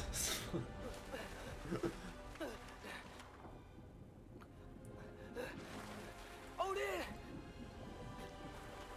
also, did I mention that the birds are jerks? Yeah, these birds are assholes. Oh boy. and then we come to Asgard and see it is basically Iceland. Fully, Oh, beautiful. Like, good times. Uh, but yeah, uh, let's take a look out at I'd like to um, the midnight thing blows Vetlir. over. Hello? I'm here. I, I Odin? Bird. like it even has the range. So Hey, we are wait up. standing currently on the uh, North American continental plate, and Oh. over there that reaches the European continental plate, and these lakes Asgard. in between Hold on. Are uh, just in between two continental plates and are getting f- bigger. God, I love plate tectonics. It's so Yeah. fucking weird. Yeah, Isn't it like the, the Appalachians and the Scottish Highlands are the same or something they like are the that? same mountain range. Yep, yep, that's what I like to hear. And I think, if I'm not, no, never mind. I was gonna say something that was wrong and stupid. Uh, um, yeah, it it also connects up to, I want to say the mountains in Norway Yeah. are the same range. Yes. I thought you said I Okay, was welcome in that's the smart version of what I was first going to say, and then I realized, wait, no, that's definitely a fully different mountain range. Good work, team. We figured it out. but yeah, it it connects. Um, And they're old. Like Yeah. they're older than you Very don't find old. fossils in any of those or very Old as many balls. fossils because they're before most things evolved. Yeah, they're before bones. Which is a wild sentence to say. Older than bone is a damn cool concept, and I'm sad nobody's ever used it before. Anyway, Oh, there are, I cannot open chests while I am in combat. Apparently. wow. I don't understand it. I can multitask. I'm good Everyone at chill games. out for a second. I just gotta get some stuff. Gotta get some skis. the Matterhorn is half Europe and half Africa. I did not know that. Is that why it's so weirdly asymmetrical? I have no idea. Cause that's that's the one in Switzerland. Yeah. Yeah. Uh, I have no idea. the, I think the right. I think it's Italy is technically on a, like a different continental plate than most of the rest of Eurasia Yeah, cause because the Alps have to come that from somewhere. that also would explain the Greek islands, I think. Hold on, let me get a plate tectonics map. Yeah. Let me let me stop talking at my ass. Yeah. Um, Uh, it was inevitable maps. that we'd get here eventually. Uh, exactly right. You, between you and me, we were going to end up fully just talking geology eventually. Okay, Eventually, hold on. yeah. Um. Hmm.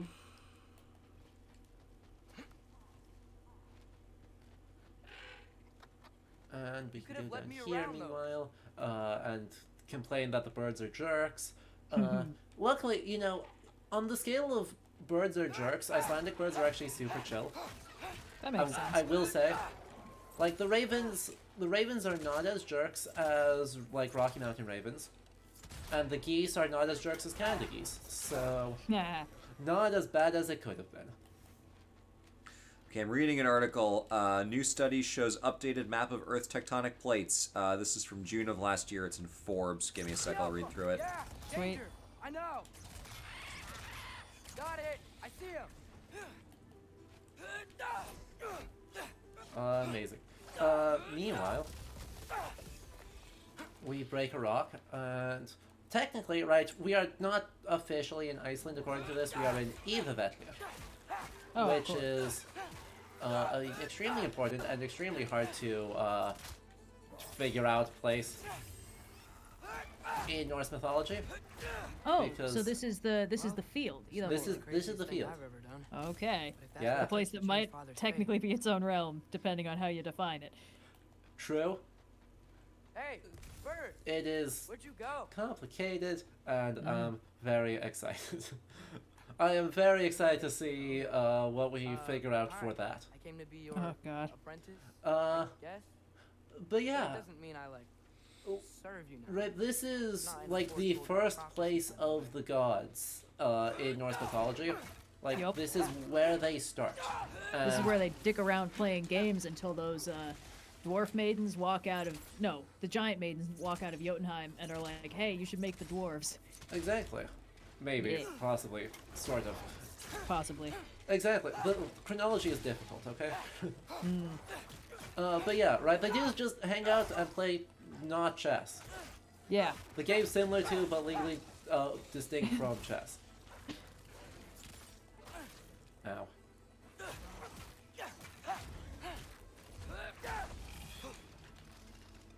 Oh, great. Three west.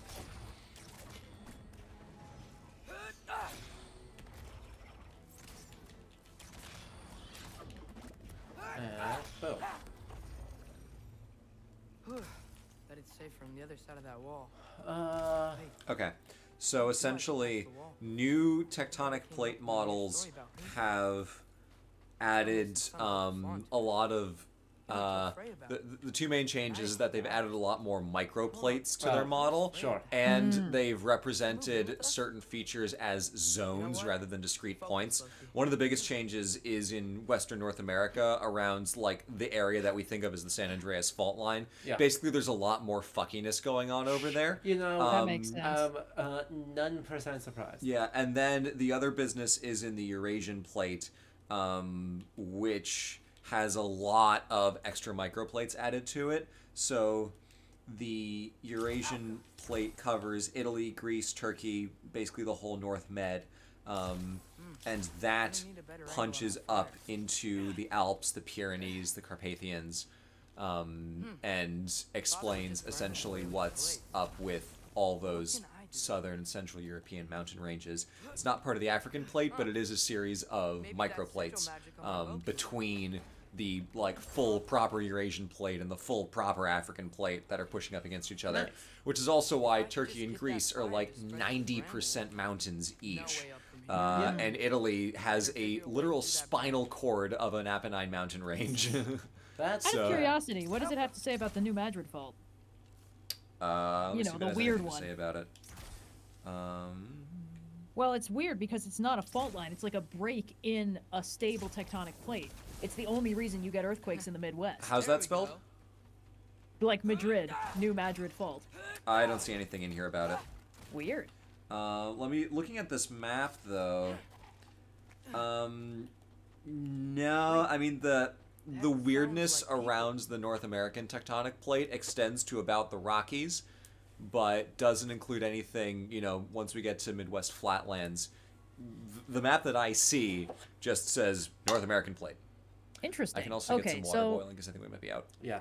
Yeah, here's the thing: the the New Madrid Fault or the New Madrid Seismic Zone uh, is it's in Missouri, basically. Um, it's a fault system that is it's just like a crack in a solid plate in the in the solid North American plate. Um, it's the only reason you ever get earthquakes in the Midwest. Yeah, the only reason apart from uh, blasting bedrock with high explosives. well, okay, is that an earthquake or is that just fucking around and finding out? Hang on. Both? Are you Yeah. all from Midgard? Yep. Also, yeah, we're meeting a new character. Uh, Chad, if you're curious, his name means shield. Gave us a safe place to settle, but It is in fact exactly the same word as Into the city shield, unless you know just with Old Norse sound changes applied to it. don't the magic. The Skilder guy's a skis bag and I don't like him. You're suspicious of everyone in this. I'm game. so suspicious. I mean, because like we're in Asgard.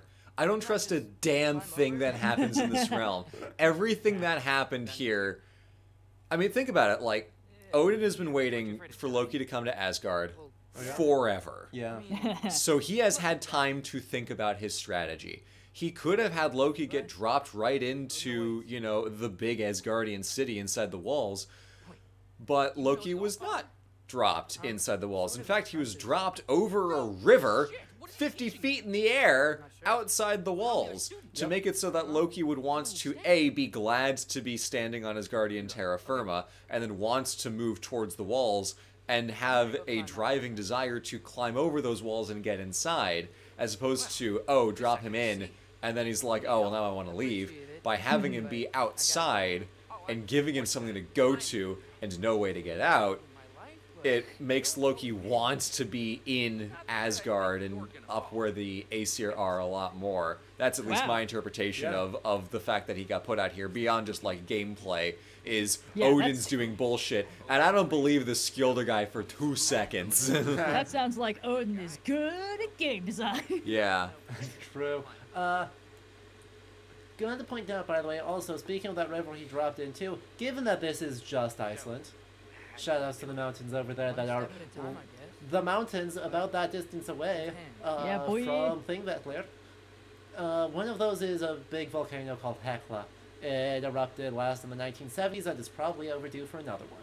Yay! Yay! Um, that water is 4 degrees Celsius. Oh god. I have been in that water. That water is Yikes. ve- crystal clear, incredibly beautiful, but you do need to be in a wetsuit um, because otherwise you do get hypothermia and it is not a good time. Volcanoes were like the one thing that scared the shit out of me when I was little. Me too. It's like buck wild that they exist Yeah. and that we're just okay with that. Yeah. I like looking down. Shows me sadly, I don't think I've I don't think the one in Iceland is really doing anything anymore.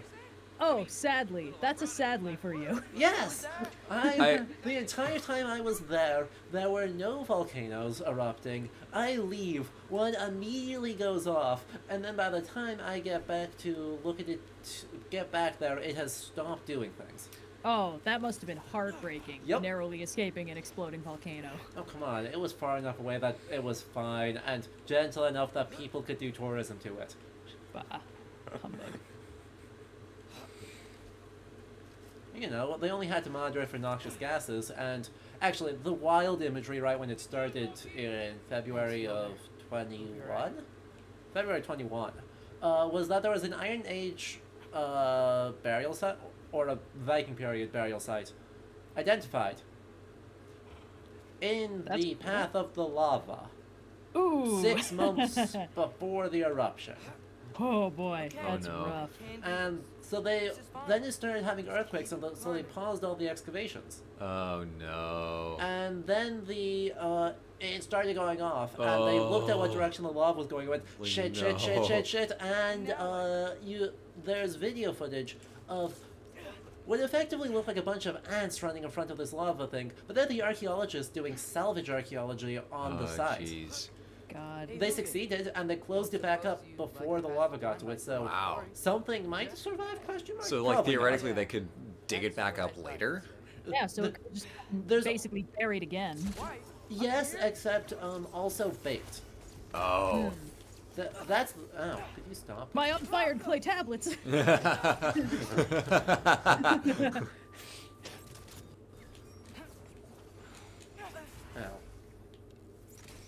Again, throwback to um, uh, Mycenaean. Yeah, so we're gonna have to do a, a, a gathering the armies because there's some some people coming out up the coast. Not sure what that's about. We're gonna have to go check on it. And then there were no more records ever written in this in this Mycenaean city. Rep. God. Oh god, which one was it? I forget the name of, of which city it was, but it was might have been Tiryns. It, it could have been Pylos. I, I frankly don't remember. Um, but it The was only thing better than fictional eldritch horror is real eldritch horror. yeah. True. My my all time favorite one is a um, late medieval.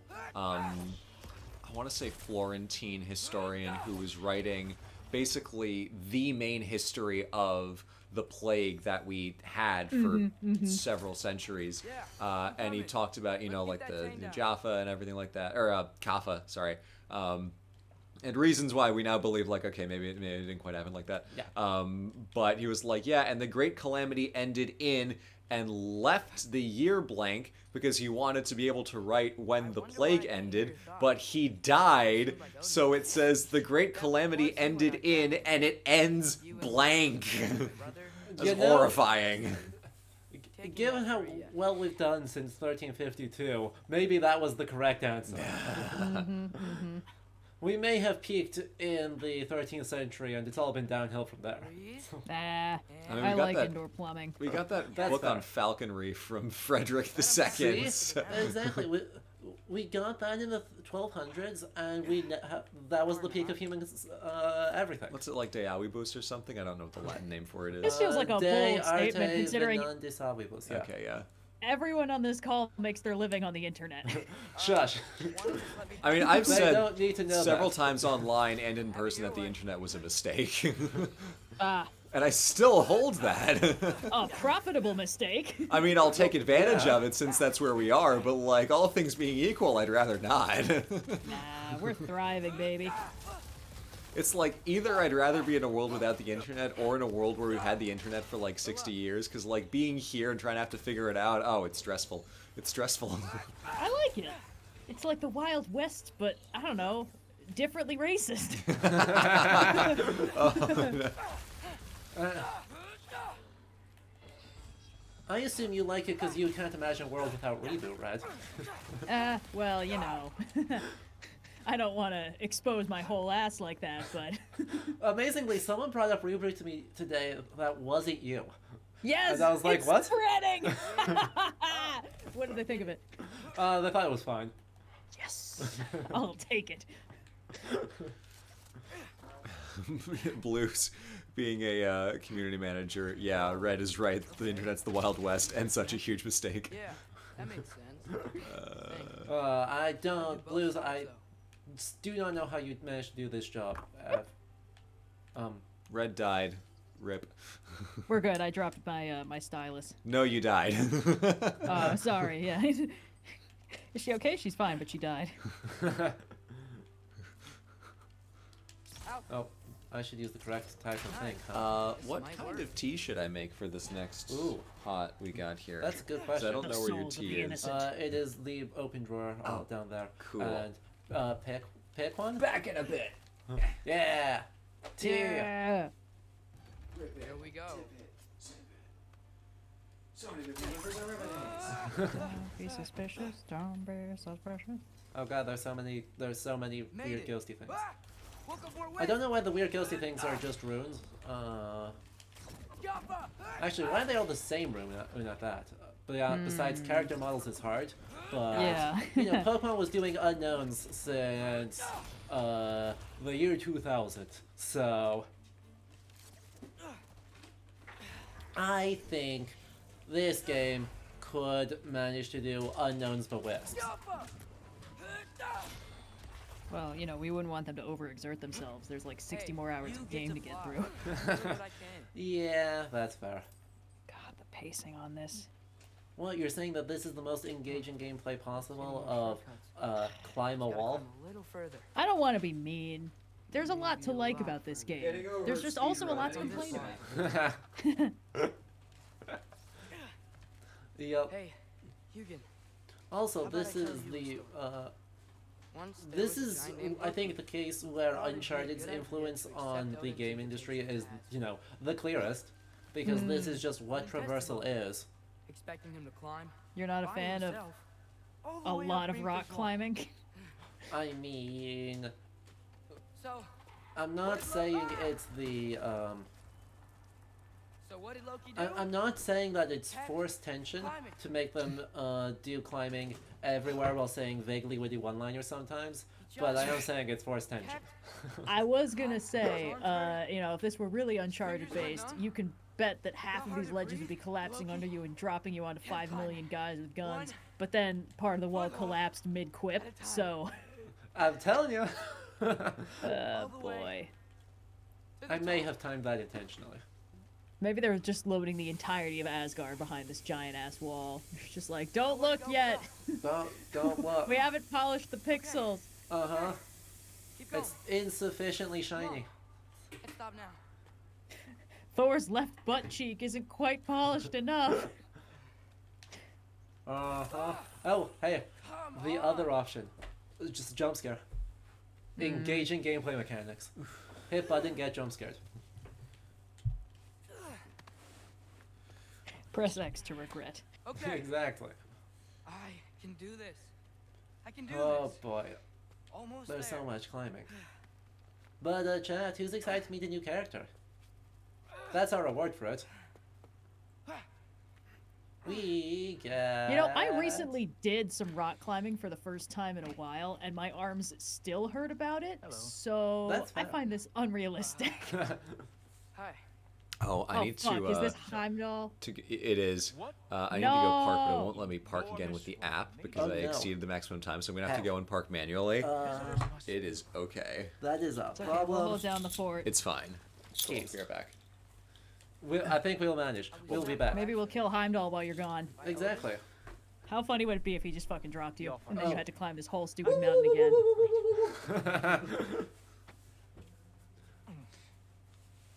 Then why are you up there? Heimdall Uh, you know he's a dick the because he's questions. eating an apple. Yep. Why don't, Don't worry. Uh, he's also a dick because he's going to throw the apple off the edge of the world. So he's a jerk and he wastes food. Exactly. Has Isaac, has Atreus considered turning into a bear and just, you know, solving this problem once and for all? Now, I think what could Odin we should have talked to Freya before we threw a fit and left and just borrowed her hawk form. Well, you know, the thing that Loki does regularly. That's between me and Odin. God. Heimdall was like, you know what? This game's not long enough already. You don't even know, do you? Yep. Man, he. Think You love to hate up, him. or- No, Do we? I don't think I think he's just a, just kind of annoying. I think maybe I'll drop you. No, Yeah. No, no, no, no. no. Yes, I'm going to drop you. Stop. Goodbye. Think how mad the Allfather's gonna be when when he Yeah. finds out you killed his guest. I will say it's extremely gone? satisfying when uh, uh future spoilers. It's predictable. It's a God of War game. What do you think's gonna Look, happen? obviously he's gonna get killed at some point. Exactly. I am not your enemy. It's very satisfying when you finally get the chance to.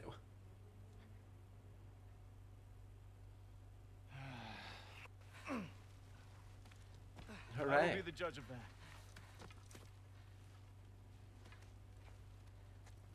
I appreciate that the Heimdallr is actually up here. Um, What an asshole. cause yeah, way, but mythologically, right? He Is that the watchman of the gods. He's Uh, deaf but can hear grass growing, and also has extremely keen eyesight. This is a rare Wait, he's deaf? He's deaf. There's one source that just straight up says he's deaf. It's That's hysterical. wild. I don't know what to make of that because Done he can also just already. hear. Um, Cornerstone of civilization. but yeah, it Ah. says he's deaf. Really It's the Daredevil school of fictional disability. Exactly. You're disabled, but then you got a superpower that uh, fixes it. Basically. Mm-hmm, Yeah. Just ask your questions already. How But do you know I had questions? It is my job. the the way they the way they, they do that here What is is basically saying he I has future sight and just I love from is trouble. And you think functionally You just met me. um And I can like omniscient You are eager to prove yourself. and uses that to be a jerk to us. due to an overshadowing father Love to see it. We listened love Super to see it. fun and not annoying. I would also guess that you are Uh huh. disrespectful, entitled, and Though he did get us there. You don't know me at all. I help people. Oh, Disrespectful, entitled, and help impulsive. People. Yeah, Hmm. you know, I'll take that L. No, no. You are here to help. This is Russian yourself caravan tea. Perfect. To- The smoke. And lie to whoever you Oof. have to to get what you want. Yes. I know you're young. Your voice probably dropped while you were climbing the wall, but Also, this is what Asgard. a twisted little soul you have. It's you are chaos in a spiffy archer suit. it sure looks like Asgard, or it sure looks like um a generic Viking Emporia number three hundred and seventy-two. Nothing good is going I've definitely been to this Ren Fair before. Exactly. Uh, I think it was in Assassin's Creed Valhalla, in fact. That's it. Wait, so is this version of to Heimdall also deaf? and have No, no uh, Okay. he's just an asshole. guess that- Sadly, Okay, he said like watch your mouth move, and I was like, is he lip reading? That's kind of cool. that would no, be he's just a extremely cool, but I, nothing I think actually says uh, that he's deaf here. Mostly just he's um, a deaf pretty boy. Who Or not a deaf pretty boy, an asshole pretty boy. Oh, we love asshole pretty boys. Uh huh. I'll take ten, please. I saw an article about uh, crafting Heimdall to be, quote, the most punchable face uh, before I met him, and I'm like, oh, what's. I don't. I guess I know Heimdall's in the game, but I don't know, like, what the deal is. And then I met him, like, the next day, I'm like, oh, yeah. Yeah. But valid. Mm-hmm. I don't know what this animal is supposed to be. Whoa. Are these all Aesir gods? Generic fantasy quadruped. You think all Aesir are gods? But Skilder told me that only. Oh, well, if Skilder Now, told you. Heimdall. Clearly, Heimdall, that must I don't mean to contradict you. gods, not But the word the word Aesir is the plural of the word You aus, and the plural of the word culture, do you? aus is lots of things. uh, means God. built that wall. Oh, you know who else? So we these are the gods' gods. The wall that keeps out Gods, gods. The. MCU. When they say from Aesir gods, they are in fact saying gods gods. Uh, and truly cannot wait for you to regale me with the Oh, we are not gods, blah, of blah, blah. Blah, blah, blah. Architectural history. The gods would be unscientific in this superhero movie Is franchise. It is funny how in a few places characters who talk to Loki are like, "Oh, you heard stuff about us from someone else? Yeah, uh, I fundamentally doubt the authenticity of that source." that's fair. It's like, "Oh, you heard the story about us from someone who hates us?" Yeah, sure, they're trustworthy. Which, like, on one hand, eh, but on the other hand, well, they hate you, so clearly they might be onto something. It emerges Like, thus far, you do all suck pretty hard. True. Hey! Smack that ass on the floor. Ow. Hey! Oh, and uh, by the way, I brought you a practice dummy. I thought we were going to Otis. fight time. You see, the thing is, No. you do have treacherous intent. No. So I am not letting you anywhere near the Allfather. That's right. Show me all of your stupid little tricks.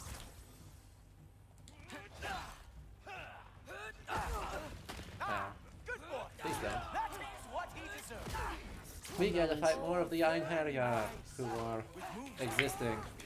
He's so eminently punchable, and I know that he's designed that way, but also, come on. This is so annoying. He's so annoying. It is kind of funny that they just make the Einherjar like turbo jocks in this game. Well, It's that does very kind of funny. fit. They're just like shirtless football hooligans I mean, with maces. that that, Get swole! that that does sound about right. Yeah. Uh, right. Well. What the hell is that? Oh, Blood. that's a that's a Rus bardiche. Uh, Well, Oh, the weapon. yeah. I was like, what the hell is that weapon? Uh, Sure you wanna but no, it's just a shitty Funny thing. polearm or a shitty rendition of a polearm from the Kievan Rus. Someone says, "Come on, Einherjar, score some fucking goals." Oh yeah, let's let's fight. Hi- this was Oh, fast. We're moving Not Heimdall. We're fighting Heimdall already. It's it's working great. It's it's working great. stop me from he just slaps you. He doesn't even punch you. He just slaps you. I know. You're great. You know, it's gonna be nice when Kratos rips this guy's head off. Yeah. Oh, It's that one felt special. can confirm. Hope oh, that Don't talk to me or my boy ever again. Ow. Ha. You were counting on that. It is interesting that they gave Heimdall red eyes in this game, as if like he's seen too much shit that his eyes are permanently bloodshot, You have to show or he's just high off his ass all the time. That's yeah. fair. He's like, I can see through the matrix, man. Your puny attacks can't touch me. I do I, to I am sad that they didn't keep the gold teeth that he has. Profoundly. In the Prose Edda, his description includes gold teeth. Oh well, of course the Prose Edda, we have to trust it. Sorry. Yeah, yeah. One Look, hundred when, percent. when the other source for Heimdallr is um, a stanza of a poem that we don't have the first two stanzas of, uh, and a poem called Rigsthula in which Heimdallr um, It's our father's gift. just like has three one night stands with different couples and gives birth to all of the classes of humanity. Oh, One more step. Interesting. Rigsthula. Like how they said. We're not exactly drowning in sources here. To stop me. He has gold teeth, it's just hard to see. Huh. Oh. Uh, neat. Someone Also- said that I can't see purple, and that his eyes are actually purple. no, his eyes look red, but They're red. Uh, if we lo- circle back around, Yeah. You are a sick man. Loki, you And it. Odin time. I am so This is a great scene. Yeah. to see you've met Heimdall. I see you've met Heimdall. I'm so sorry. Oh, how dare you make me like you? This young man, who is my guest, is covered in mud. Care to explain? Also, he got he got the corduroy cloak drip. Yeah, I love Odin's ridiculous coat and hat. Just messing around. Of course, he means to betray me. Heim- Heimdall. Because I think we discussed in the first stream that that embroidery moves to trust pattern, like, is almost He's like like a priest robe style embroidery. It's- pattern. like there's it's some... goofy. It looks. It does look like. Oh god, what's the name of it? Like a ta- cassock. No. tabernacle. Tabernacle. Uh, No, that's that's the, something else. the the big the big cloak. It's the big cloak like one. Yeah. Uh, oh well. The box you put the Yeah. the host into. It's it's a word that means Heimdall, will you tent, but I can't remember what its Were name. you intending on killing me first? I love this.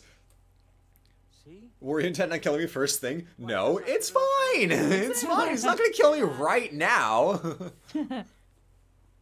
It's like, of course he intends to betray me. We haven't given him a reason to trust us yet. Which, like, again, this Odin, absolute dirtbag, scum of the earth asshole, is really funny. That's the thing. This writing, it's so emotionally manipulative, but in a way that's really effective. Mm-hmm. They show you Heimdall, and Heimdall is an irredeemable asshole. He's incredibly smarmy. He sucks. And then they give you Odin to be the good cop, who's like, "Hey, kid, I know you don't trust us. Of course you you don't. Let me give you the grand tour, treat you like the hero you are, you know." we should talk And because the whole game up to this point has just been Atreus and Kratos failing to communicate.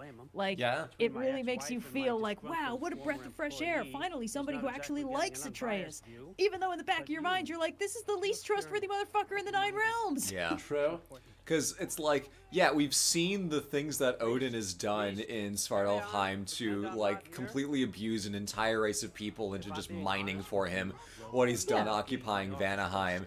And then Odin's like, I'm not that bad. And Atreus is like, You're not that bad. And we've seen we've seen what he's done to Freya. Mm-hmm. Like Yeah. we know how much he's fucked her up. We actually know like we, we know this monster, but we're not connecting him to this affable dude that we can see in front of us. And it's it's just, you know, it's a very effective bit of writing. Yeah. And it gets better. Uh, right, the next place we go, That's why I'm here, isn't it? apart from we get a little bit of an, him claiming the slain Thing. These Uh, are. They tend to come via out of Valhalla a little you having to translate some Old Norse. Do what I can Uh, Of course. Remember who they were in life. That's important, don't you think? A sense of identity. I do think it's funny that the, this interpretation is that when the Einherjar come out of Valhalla, they're quote a little foggy. It's like they die in battle, they're like, oh god, uh, where, where am I? What the fuck happened? Yeah. Uh-huh. And importantly, uh, right, it actually, it's not that they're a little foggy or remembering it. Uh, the Old Norse translates there to, your name will be. Just fully, Oh, yeah. fully wiping whoever they were before, so they are now just whatever he says they are. That's Which is brutal. very in line for what this Odin does. Yeah. Uh, Miku asks, how accurately is Odin depicted? Accuracy is a tough metric, but Yeah. do we if you like like- the design? The second part of the question is maybe better to answer. My personal collection. Yeah. I uh, think this version of Odin is a little bit. better not be mushrooms, The I thing is, smell. personally, I really like the way Odin is your offer, characterized in I'm really not the, sure what you're you know, the poetic and prose Right Edda. He's a scamp and a trickster, but I like that it's like, oh, this is the head there, god, but he's not, you know, with all he's not like other head gods. He's a cool head god.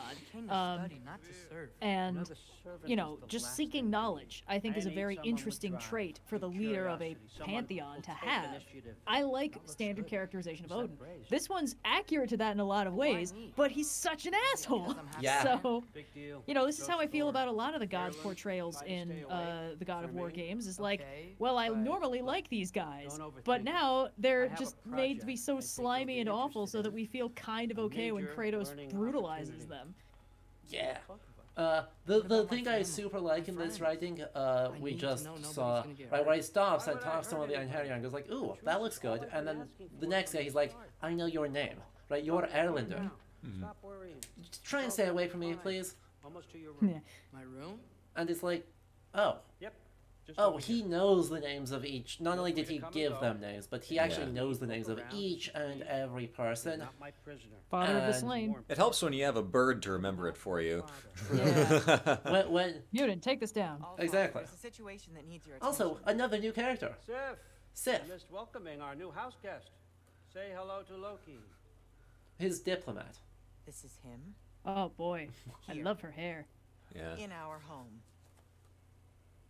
How nice. My diplomat. Everything all right in New Midgard? The refugees are fine. The situation is. Tattoos again, take a shot. Yep. You know who is back. I'll at least take a sip of tea, cause. Put those books yeah. down. We got another stop to make. I mean, All right. Manstrissa, it should read like a wig. Sif's hair does read like a wig because mm-hmm. it should be a wig on the grounds that it is a wig. But should it be a wig at this point in time? All right. Again, I'm yeah. here. Anyway, Where is I assume Oh, so, oh, just over there. because other stories that Loki are in, uh, uh, actually it has to be because Draupnir exists and Mjolnir exists and Gungnir exist, and Yeah. so Sif's hair must have also already been created. So yeah, Atreus. somehow. I don't know. I love it when the subtitles get really like specific. Yep. Personally, and not all that recently, I might add. Did you just wake up with the urge to be a pain in Volatile my death ass? traps. Hooray. Who's the kid? Huzzah! You training pickpockets? Also, hello, You know um, Durlin? You vaguely are Australian cute, and Durlin that is. Yeah. by far your most endearing characteristic. Actually, I think Durlin might have closer to a New Zealand accent, Me, if I remember rightly. Your entire Mm. Economy speaking. That's fair. Uh, It's more of the letter I. Yeah. A lot of I vowels. That's more New Zealand. That's fair. Promised on time, on budget, On and time, on budget, and safely. safely. Mm, The dwarves have never let me down, and they're not about to start now. Right? uh, what are these supposed Good. to be exactly?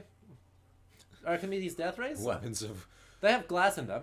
Yeah, because I'm voting Archimedes' death ray. yeah, Oh, I hope it's an Archimedes death ray. Because it looks like it's mining um, from the Twilight Stone. It looked like that purple kind of stone. I'll let you If I had to guess. Yeah. When you're ready to get to It's a work mystery. start getting those answers, meet me in my study down the hall. I know, Chad, if you want to hear me talk more about Odin, I would recommend checking out the uh, channel points And help yourself. uh, options. Yes. I'm just saying. Redeem some of those. I'm just saying. You can pay to make me talk about whatever you want. Yeah. Yeah, it's me. Your entire economy speaking uh, has a lot of layers. There it is. Thank you, Peter. Okay. Yep. Yep. Peter. Uh, oh God. Oh no, we've got so many redemptions. Uh, this is why I shouldn't remind people to do things. Because we once, have anyway. two design diagrams, uh, a spicy take and an ice cold take. Let's do the let's do the takes first. Uh, we need a searing hot take and the opposite of that. Oh baby. Okay. Cold take being like an obvious thing, or is like something that's just wrong. Both, either or. Pick your options. Uh, As I failed to navigate the most basic of menuing. Don't worry about it. Give us all the diatribes. Yeah, yeah. Guess I could I- try this on. My There's mud on it anyway. cold take is that Asgard doesn't feel like quite enough Oh, to me. Because one of the things that I think is very distinct about this setting is that there really are not a lot of people in this world. Yeah. And there Yeah. kind of never were. Like in the Greek games, there's the implication that there are large societies operating around where Kratos is. Like all these Greek cities have like huge populations, and we, we get to see pretty that in some places, but there's never more than like 30 people in one place, and usually it's revenants. Yeah. Yeah. So I feel like this Asgard is obviously impressive, but I am surprised that it's entirely made out of wood. Seems like a little too much of a of a Rohan um, rip for me. Yeah. That's my cold take. You know, that's that's a good good cold take. Uh, I I super agree with that. Uh, right, the idea that this version of Asgard has a lot to like affinity with Edoras, I think is just correct. Because Uh, it's like that's the Great Hall. That's pretty. This is pretty small. That's not Yeah. large. I mean, This that's is pretty humble.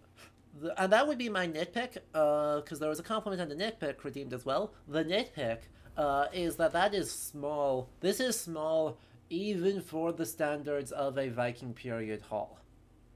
Wow. Because, like, the one at, like, Borg is somewhere in the vicinity of, like, a hundred meters long. This feels smaller than that and lower than that. Right? Very short as well. Hmm. Um, Yeah. Magus Drissa says Sparta being a dystopian totalitarian nightmare place for almost all of its inhabitants. Not quite. Uh, Sparta was a totalitarian nightmare place for the Helots, which was the population that Sparta enslaved to do the work so that the Spartan men could fight all the time. Um, Which I is mean, like it wasn't 90% of the people. fun being a Spartan, but um, Loki, right? they did not have Gotta so much of the the Iron Fist is totalitarianism as the. Helots did. That's that's my version, nitpick, not to just put a commenter on blast. I'm so sorry. Ah, Oh hey, we're meeting uh, the character whose uh, addition to the story I really like. exactly. Uh, the compliment is that Thruth rules. I love through the. Is she, I okay. Is she from anywhere that Yeah. not this game? now Yeah. She is. Yeah. Thank God. Okay. Uh, She's too cool to be an Elvis- OC. Elvis Fruit Small. Doctor. Uh, Ah. Right. The, Oh wait. Yeah, yeah, I It- remember that. uh, specifically, Alvi, they're trying to get. Trying uh, to marry her. Yeah. yeah, And, and- and Thor is like, hey, none of that shit. Answer me my questions three, and then the sun rises, and he's like, haha, I've won, and then the thing ends, and it's like, wait, clarify Well, that statement, without and then he doesn't. Yep. Um, additionally, additionally, uh, Thor's hall, Thrudvangur, is named Mm. after Thruth. So, Thor's house is actually the place where Thruth lives. Incredible. Yeah. Don't forget your sword. She's so fun. I love her stupid hair. Her hair is perfect. All right. Then we have, you know, the the big chunky Uh, uh, channel point bring that things for Design diatribes. talk, talking about Odin. Hmm. I assume that's what you want them for. Uh, So, Probably. what kind of I sword is that? assume. It's So one of a kind. the My gave when to we look at Odin, uh, we'll enter You're photo mode when we hit up here, so that we can. I was just heading to the Great Hall. But Well, if you need to go we may want to talk around the study is just down those stairs. talk here a bit more. We can do we can talk about some other folks here. Uh, we can do more design stuff on. Let's do some more design stuff on uh, Asgard and presumably How do you become a if this is supposed to be First, I Hlidskjalf, train till I'm the best uh, which is Odin's then hall. wait till grandfather Mm. and then I We can do do some stuff dad. on this and its design, and then we can do one on No. Odin because there My were two father and I, redemptions, and we therefore we need to do two different things. A whole bunch of Valkyries. What? Where?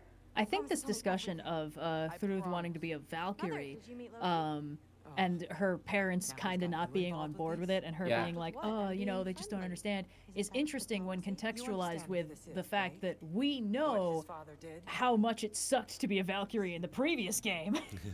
you know, when they were all insane and trapped in their physical bodies by Odin to fuck you up. Yeah. Uh, so it kind of makes sense for Sif and Thor to be like, I don't know. I I don't think we want that to happen. exactly. It's a case of them being, you know, um, for the first and thus far only time, decent parents. Hmm. Well, I guess they didn't like Magni and Modi very much, but Thrud's the baby of the family, so- Exactly. so, they like her the best. And to be fair, Magni and Modi were real jackasses. So They, they sucked. Uh, no one liked yeah, them. yeah, they probably deserved it. Yeah. Um. What the what? The, what the heck is going on with this wall? Uh, Peter says, no, I want you to discuss the belt buckles. Uh, Uh-huh. Yes, Odin. Yeah, yeah, yeah. First though, the hall. Um, apart from the weird fucking nonsense that is this interlace, Hmm. it's it's fine. Like for the most part, this hall looks really good. Except I have two, three, and uh, major complaints. The first is this interlace is nonsense. Mom, Ah. Um, right? the second So, is that there wanna is look no around some more, high seat. really Like to to work? Please Where do not does- involve me in your pathetic attempts to impress. right, right here. Huh? Come on. Stop You it. haven't had enough Heimdall in your day? I am talking to the wall behind you, Heimdall. right, right up here. There should be a table set the other way. Uh, that is where the head of the household sits. And according to some texts, like Eyrbyggja Saga, uh, that you'd actually have a chair up here, and you'd sit in the chair, and there'd be pillars depicting the gods flanking the high seat. ah. And these are incredibly important objects for, well, lots of stuff. Uh, but in the settlement of Iceland, they're specifically used as, like, wayfinding things. If you throw the high sea pillars overboard, and the gods and ancestral spirits want you to settle wherever it washes up. That's uh, that's the story of how they found Reykjavik in Iceland, right? Uh, yes. Yeah. Ah. But in Eyrbyggja Saga, it washes up in northwestern Iceland. Uh, Okay. Uh, near Thorsnes. And in Ale Saga, in, they use uh, the corpse of Kveldulver, Eirith's uh, grandfather, instead of a high sea pillar. Oh, charming. Well, gl- glad Grandpa can be useful for He- something. He died on the voyage. What else were you gonna do? Uh, yeah. Improvise, adapt, overcome. Exactly. Improvise, adapt, overcome, overboard your grandfather. Um. So yeah, we should have a high seat here. Uh, relatedly, there should probably be a hearth in the center here instead of just tables. Like, how are you supposed to overturn the meat benches when you only have like three benches and no hearth around them? Come on, Beowulf and Grendel need to have a fight in here. We Rookie gotta do better. from the game developers on this one. Exactly. This is what this is the content you're here for, right, chat? Me, me ranting ram aimlessly about all the tiny details that don't matter that they got wrong. Speaking of which, uh, the roof should be either thatch or should have shingles and uh, not. It looks like it just has these like 19th century American cottage vibes of chunked wooden planks. Scandalous. Gazetians informs us that yes, that is in fact why he, uh, they are here. Good to know. uh, we could nitpick about the braziers, but the braziers look cool, so I'm not gonna like whatever. The textiles look cool. The braziers look cool. Uh, none of that shit survives in any useful form in our archaeological record, so there's not a ton of point in being like, oh, this is probably not right. Hmm. Unlike hearths, which do survive in our record and do exist. Uh, lastly, they could have done something real fun here to like quietly emphasize how cool this place is and how stinking rich this place is. Uh, in pre uh, Viking Age and early Viking Age sites, uh, mostly in Denmark, there are these things called uh, guldgubber, uh, which are little tiny gold foils that are found in the stumps uh, in the foundation of a building where the pillars were sunk. Whoa. They're probably placed there before the pillars were set, but there has been some arguments that suggest that they like these. Wait, do they actually have them? Is that what this is? There's something on this wall. Uh, I And then square. is which button is photo mode? It's it's pause menu and then square. Pause menu and then square. Pause menu and then square. Yep. Come on, stay in focus. Stay in, Take a selfie. Take a selfie. stay in focus. Uh, square again is hide UI. helpful. I want to look at this in detail. It's just a random ass piece of metal. Uh, it's not Hmm. detailed enough to tell. Nope, these are these are clearly iron. Like that's a that's a stud right there. Well, you know, we almost had game of the year, but shit like this is why Elden Ring had to take it. Exactly. so if these instead of being these like random iron like bits of nails and shit, um, if these were little tiny pieces of gold with uh, figuration on them, Okay, um, That would be a- real quick. We have a compliment, and also Good. someone asks: "Are the gold changed out of Bremen mentioned in relation to Uppsala?" uh, he has way just way more. Okay, Uh, cool. yeah, the gold chains are something different, and he just says that there's like a, the entire thing is covered in gold from tip to toe. Gotcha. Uh, despite no. Okay. He also says that there are mountains, despite um also being no. So we do have a compliment as well, and then I think we're through our list because we had cold take, hot take, and then design Yep. diatribe about Yes. Odin, and then getting into the design of this meat hall here. Yes. So let's do one compliment specifically about the meat hall, I guess, uh, and then we'll have another design talk about Odin, because Yes. yes. What if the compliment is just Thrud? it's I just was a great say, That was, character. that was the Thrud previous slaps. compliment. I love her. We- she I could. love her she design. deserves two. yeah, She deserves two. Thrud again. Still, just more Thrud. One of the first things I got spoiled for this game was that Thrud is in it because people love drawing like fan art of her and Atreus and uh uh fuck the girl from uh, Yarnvidar. Underbrother? Um, yeah, Angrboda, just hanging out and vibing. Hell yeah. Yeah. We love that for them. Uh, the other compliment is actually this textile work. Now that you can see the textile work, Oh. Yeah. I'll try to do some. is I don't know enough about textile to say that this is period accurate, but it is good. It looks good. I appreciate that they have textiles. Yeah. Yeah. Uh, It's interesting that there are a lot of Thor pendants just kind of around. There was one uh, on the pillar in your room. There's one right above Wait, this little entryway. Um, yeah, there's just a little little boop. Oh, little yeah. Thor pendant here. If you go back into your room, I'll point it out. Um, it was just kind of like on the post, um, on the left, right by your little thingy. It's in between the. Oh yeah. Yeah. It's like it's the candelabra. s- s- No, what's Yeah. the name? I don't know. It's a candle holder. Exactly. The the thing that holds the candelabra to the wall is just Mjolnir.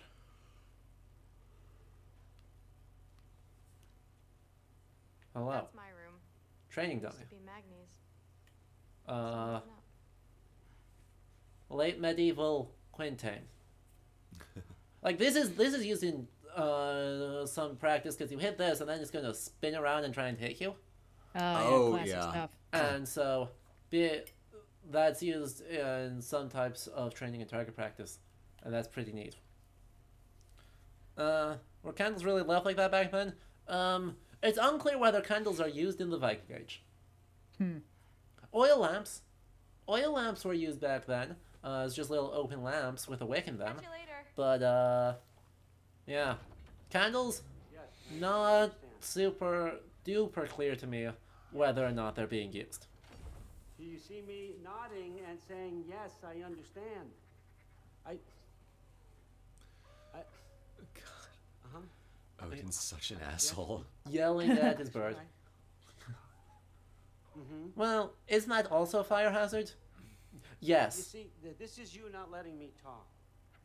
No, Hugin, I, I don't need my ears cleaned. Oh god, that was the. Maybe to stop This is only very, very tenuously related, but I recently Yeah. recently watched uh one of the two Zorro movies, the Antonio Banderas ones, um, and those movies are so fun. Except for some fucking reason, the De La Vega residence always has five million candles burning in it, Yeah. and every time I see it, I'm like, this is a disaster waiting to happen. Hundred percent. and And in the first one, the building actually does like burn down in the intro, and I was like, well, whose fault was that? You have a name? That's true.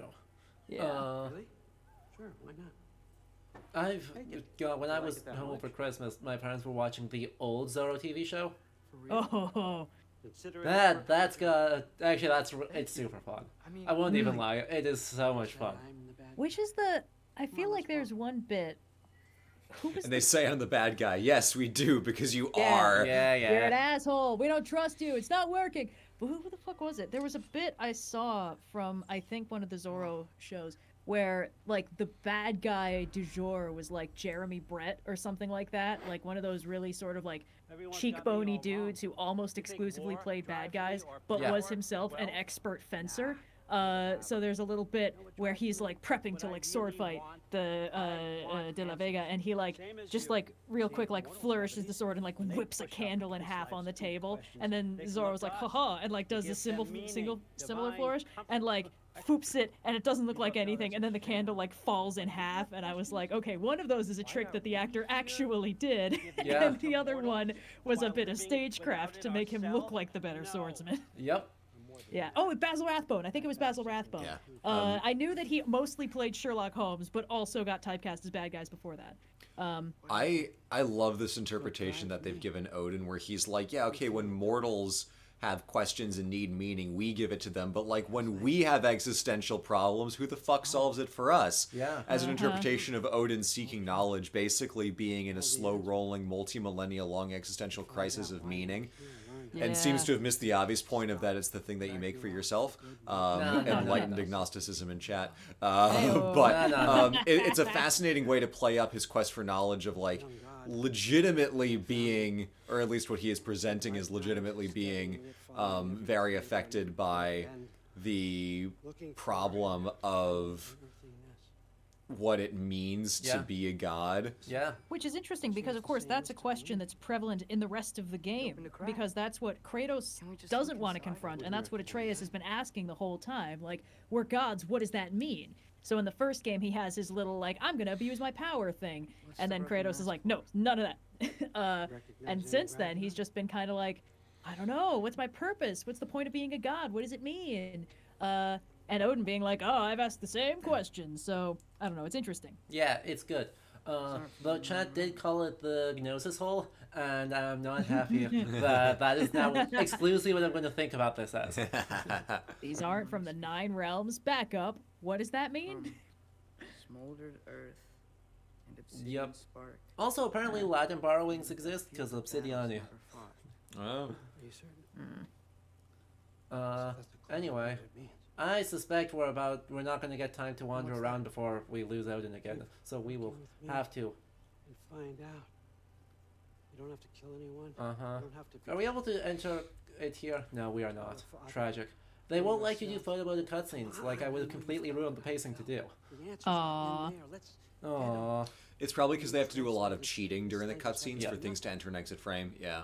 Yeah. If I do help you, Maybe they'll give us time before they tell us that we get need to go down to. here. Nope, we're just gonna go Do that. to that. This next is closer to Fine. Anyway, the core.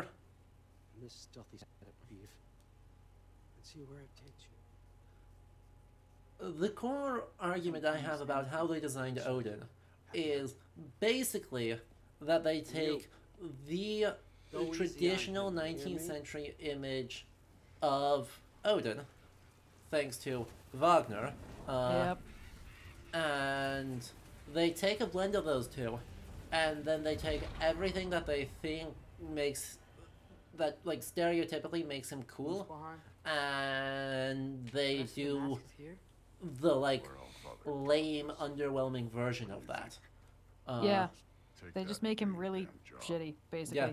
So uh, we're not going to be able to check that here, but if we go, I actually have a mouse over here that I should use. Uh, I'm gonna hide this real quick. Uh, you'll see I am on the uh, Overclocked Remix page instead of the page I intended to be. Uh, right, if we just literally Google search for Odin, you end up with firstly this very 19th century image of Extremely. uh, Odin as uh, the warrior king. So Yep, with the big Carl Emil Doepler winged helmet, and the Roman Scudam with a random horn in it, God, I I love how stupid that is. uh, and Gungnir. Or the other option, also from Wagner character art, the old man with the extremely long beard, you know, Gandalf. In disguise. Yeah, You very get- Mr. Wednesday looking. It's Gandalf. Right, so if we look at uh, the God of War Ragnarok version, Be careful to not get spoilers in the images tab. don't He's- worry oh, about it. actually, yeah, We're- maybe. This is this is fine. This is fine. Knowing that it's saying that he's the bad guy is not a spoiler. Okay. I think that much was obvious. Yeah. Mm-hmm. we, we take a look at him, right? It's the same attributes, right? You got the beard, you've got the balding, and you can see underneath the you've got the overcloak with the blue, and you've got snippets of things that look like armor. It's all the same pieces, but instead of the long, majestic Gandalfy wizard beard, it's this like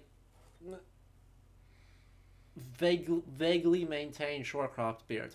Yeah, he Is- just looks like a used car salesman. Exactly. Instead of the long, the super long hair, he's balding.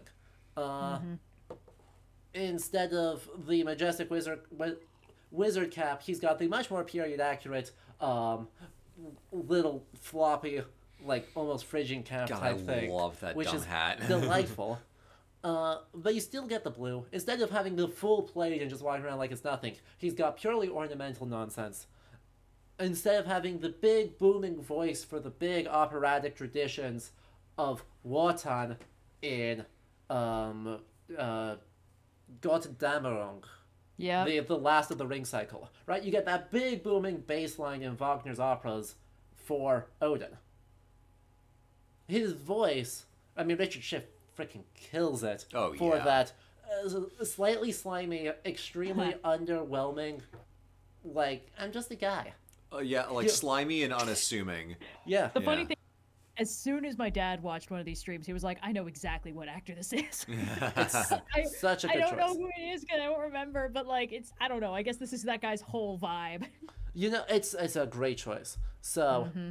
you know, that that's I think the core design idea that animates everything they did with Odin is the idea that he is just Wagner's Odin, but you invert it and make make it like the shitty, unassuming version to just make Odin less and less and less grandiose.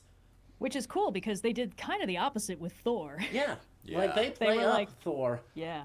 real hard. Uh, Thor's but- kind of been pretty boyified by the MCU. Like Yeah. it's not bad. It's just like you know he's he's supposed to be this titanic, larger than life, like barrel chested warrior. Uh, who also has a tremendous appetite and drinks very strongly and heavily and all that jazz. And it's like, you know, you can make him look like a, a magical pretty boy, uh, or you can make him a seven foot tall, ridiculously beefy dude. Yeah. you know, someone built like an actual bodybuilder with the sort of um, uh, like the weight belt that they wear to avoid hurting themselves when they lift heavy things. Yeah. You know. Um, and also give him a bit of a beer gut because it's like you know you could be a ludicrously strong guy and also have kind of a thick midsection. You know, not everybody looks like Chris Hemsworth. Slow going, eh? You could maybe help. Yeah, I think, and it works so well, and I mean, it reflects the character, right, of this guy. Uh, also, uh, has not taken the death of his kids super duper well. Yeah. Uh, and you know is going through a lot. Yeah, he's he looks it too. You know, this Thor has permanent eye bags and Yeah. and kind of looks like he's been crying, but really, realistically, he's just been drinking. Um, Well, no, because ap- apparently he uh, he's gone sober since Huh. his son died. Because remember, Odin says, "I like Yeah. you more when you when you drank." Oh, that's uh, And also, yeah. Amir um, uh, at one point will have a conversation that involves like, yeah. Kind of neat how Odin's not drinking. He and Sif used to get absolutely Thor, turned right? back in the Yeah, day. Thor and Sif. What did I say? You Uh, said I said Odin. Odin. Yeah, sorry, Yeah. Thor. Um, all these one-syllable names, man, they get me. Uh, Is this where I point out that Odin has two syllables? I was. yeah. But yeah, this version of Thor really feels like he's he's incredibly dangerous. Uh, like both physically imposing and of course ludicrously powerful, and knows it. Like the way he acts is just like very, very casually knows he's the scariest person in any room he's in. Yep. Um, but also is just absolutely going through the emotional and physical ringer because he stopped drinking, and that's not easy. No. Uh, Also, this whole section, just like from a writing standpoint, um, I love that the way that they're sort of pairing up, you know, Thor with Atreus, and Atreus is like, haha, you're gonna act like my dad at all? You know, like, is something I'm comfortable with? Just be kind of gruff, and Thor's like, no, fuck you. Yep. I don't care. I actually don't care about you. I don't just act like I don't care about you because I'm an emotionally constipated person. I would legitimately leave you to die with no remorse. Um, Yep. Uh, but yeah, right. All of that gets contrasted with Odin, like super, Right. super duper strongly. head through those Yeah. rocks. Uh, where Hey, he is you- the exact opposite, right? Take all the things that make Thor impressive and don't do that for Odin. Yeah. And yet, right, what it can do to both. you know from the way everyone else acts that Odin is What about the scarier than Thor is. killed? yeah. They were my Yeah. family. And so it's just like, oh, Amor, Ronan, oh. They were your people too. The giants were And so, right, Yeah. the, the they un- they do all the things that make him not traditionally, I guess, just scary or the subject. majestic or awe-inspiring. You know, uh, and it- and I were here, we Changing that just makes him trials. menacing. Think could Don't Yeah, because now you don't know what's dangerous about him. Yeah. It's a bit of a like a like a Nappa and Vegeta thing, where it's like, oh, that guy's really big and buff, and he's killed everybody. He's so scary. And uh, what the fuck is the deal with that little guy who seems to terrify the big guy? Yes. um, yeah. listen. Modi had some problems, but he was Oh, my boy. son. And the only reason you aren't mush right now is because of that broken piece of wood. Look, clearly neither of us can do this mission alone. And I want to impress the Allfather just as much as you do. Oh, yeah, by the way, You Chad is asking, me, uh, why does Thor have have an open wound in the, trust each other. in the stomach? Uh, Kratos Just buried his axe into Thor's gut. Trust. Yeah, Thor doesn't That- seem the self care type. I'm not surprised he hasn't slapped a band aid on there. Yeah.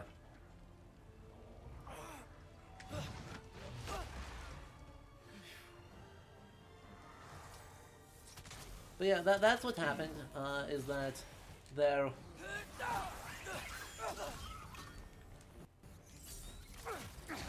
There, there was there was um, a fight between Kratos and Thor, and it went as well as you would expect Yeah. Yeah. for everyone involved. Thor And kicks then- Kratos' ass and is like, cool. I've learned enough about you. Goodbye. And then just leaves. Later, This bitch. is me trusting you.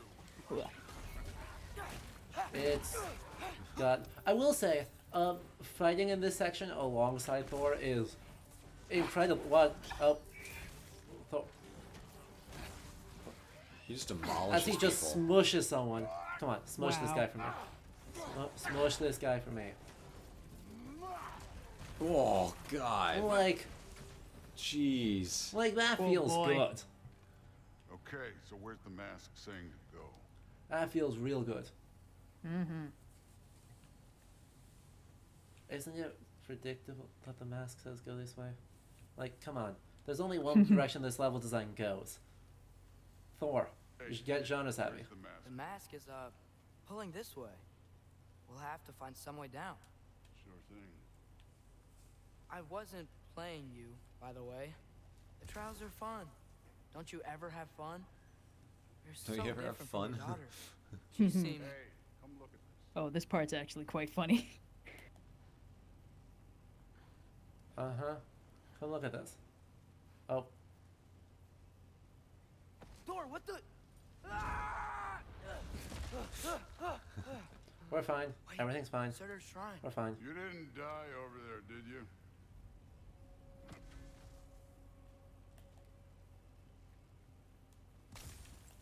Everything is fine. No, but I was thinking. Well, that's your problem. Oh. problem. What's your problem?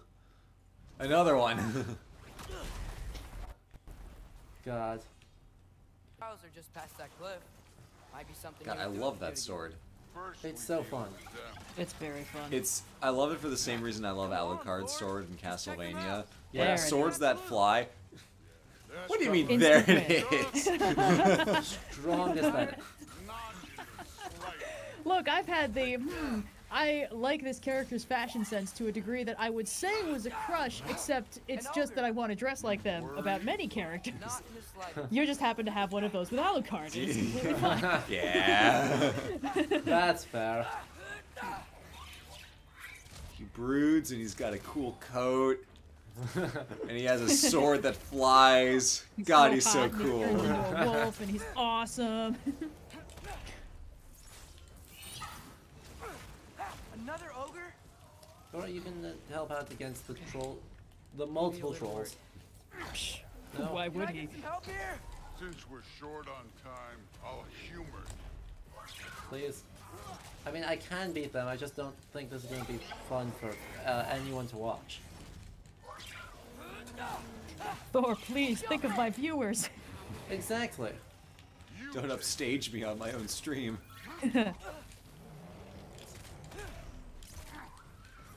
You also do have some some turn into a wolf powers you can use. I do have turn into wolf powers.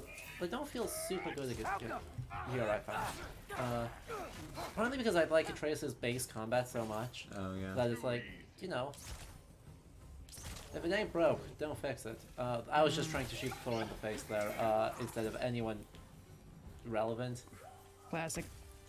Look, he's big and scary, and I think he's he an can enemy. wait a little more. It's fun. Fine. Thor's like, alright, Yes. fine, I'll do the trials. Yes, sir. Stop pestering me.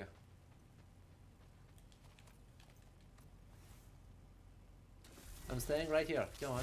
Go. Bye. Sweet. We're not staying right here. Uh, We're running, we're zooming. Busy for a while. We're out. Hopefully. zoom. We're booking it, baby. Hey, Ingrid. Look, the loot's really sweet. If you just sink another 300 hours into it, you'll get uh, the 1% drop. I, mean, promise. no, I God. I just need them to trust Actually. me. All right, he'll be there forever unless I bail him out. We got plenty of time now. Yeah. Exactly. Loads of time. No. Oh, there's enemies. Can't you guys go Suppose I should do Thor something about them, huh? I mean, theoretically, you could choose the diplomatic option, but the game doesn't really have The game doesn't a seem robust. to be a uh, big fan of diplomacy.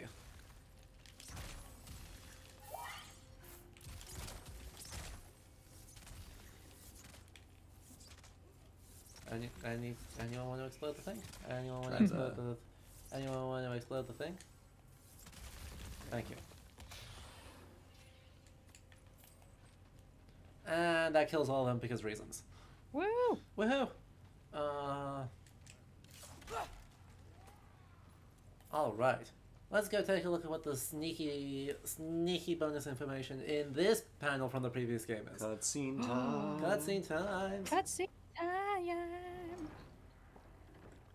Something about Forging a sword.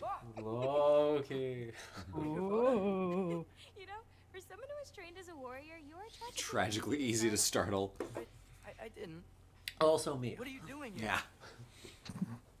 A girl can't visit a shrine of her own volition? You're here for Surtur's marble. Maybe. You're out looking for more giant marbles?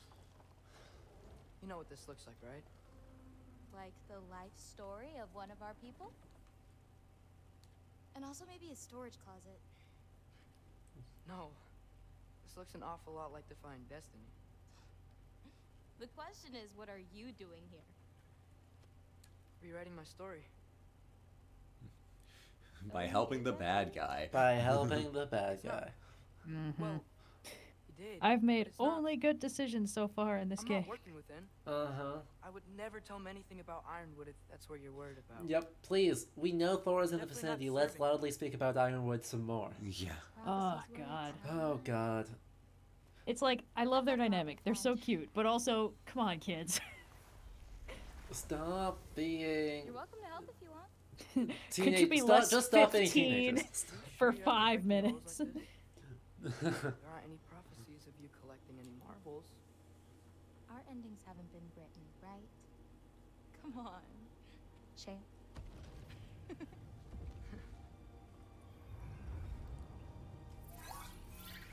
No, I don't know how much they're going to try and force a uh, force heteronormative love triangle Another over here, but I hope it's not much because the the dynamics between all these kids is too cute to mess there up with.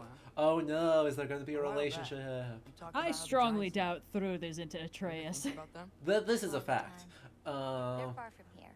Far from Odin. It's not impossible. I just find it unlikely. oh, oh, no, I agree with you that to. she's not. What cities they've Uh, but, Oh, the- but there is is some stuff that Atreus- implies that he is. He's got like a little puppy crush. Yeah. That wouldn't surprise me, but come on, these Is two are Is that just what perfect. that's called? No. You think I know what straight people are like? Look at all that frost. You know, puppy love is a thing. Don't think I've heard of her before. And here comes Surtur. So, Wow. oh god, This, this is a some fight. Yeah, Hang on. until it wasn't. Oh, Oh, this this one's is- very funny. Oh, no, no, no. Bad- Yeah. It's because they fought together. questionable animation. This is a deep cut. Sinmara Second is mentioned in friends. Fjölsvinnsmál. uh, Uh, Fucking. I mean- uh huh. if we want to talk Are about they? forced heteronormativity. I think they are.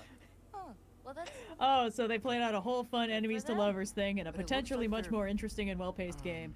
And uh, love now we get to watch to the I don't know the, of the clip art version. Oh, and now it's Ragnarok. And then Mhm. Ragnarok destroys. Yeah, so they boned and then they Right. turned into a giant saw that in stabby giant Shrine. thing. Yeah. Yeah. Well, Um. Sure. that was. Yeah. Uh, she she's Okay. mentioned by name Oh, hey, in remember the scene we one put that song heroic on? poem Can't in which really she's part that. of a reference to answer one of the mythical cosmological questions that the doorkeeper is using. bigger. That is Yeah. the only mention of had a feeling that Sinmara in the entire Huh. fucking corpus. Well, that's great because here. that means that they got a uh, a name a with no lore attached, so that they could do whatever they wanted with it, and then be like, "Look, it's legit." Yeah. Is this story Surtur's self-insert slash fic?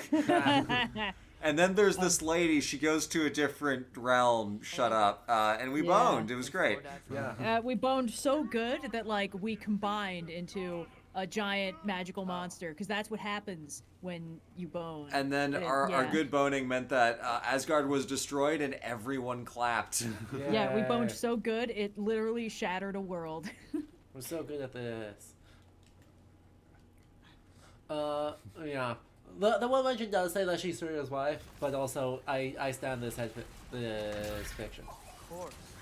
I admit, that was fun. Oh, There were hold on. mountains of corpses Let me shoot these guys, and then you'll shoot these guys again, down like and then the lava uh, ran Oh. red with their blood. shoot these guys. True, Great. You want to And help down then here? I'll definitely not get hit by my random. You beat all those trials. Or did you just Random watch your bullshit father? away. Hooray! What's that? The, the Moon Knight Yes. meme? That's the Random meme, bullshit go. Uh, for like the two weeks that everybody was talking about Moon Knight, I loved all the memes, and then a few people being like, "Some of these are real guys." Yeah, I, I know you're here, from- Dracula, you big fucking nerd. Where's my goddamn money? I don't think that one's real, but I man, know, that was so fucking funny. yeah. Random bullshit away. Was the random bullshit go also fake? Unfortunately, that one was fake. Yeah. Considering the lead up was the goons being like, "Oh, that's Moon Knight. Watch out. He's always got some random bullshit." You wouldn't believe the scores of these things I just killed. It was Tragic. What a good show. It should have ended at episode five. I'm, I'm amazed at how little impact, I think you're right. you know, every single one of these shows has had for more than like than three weeks. Yep.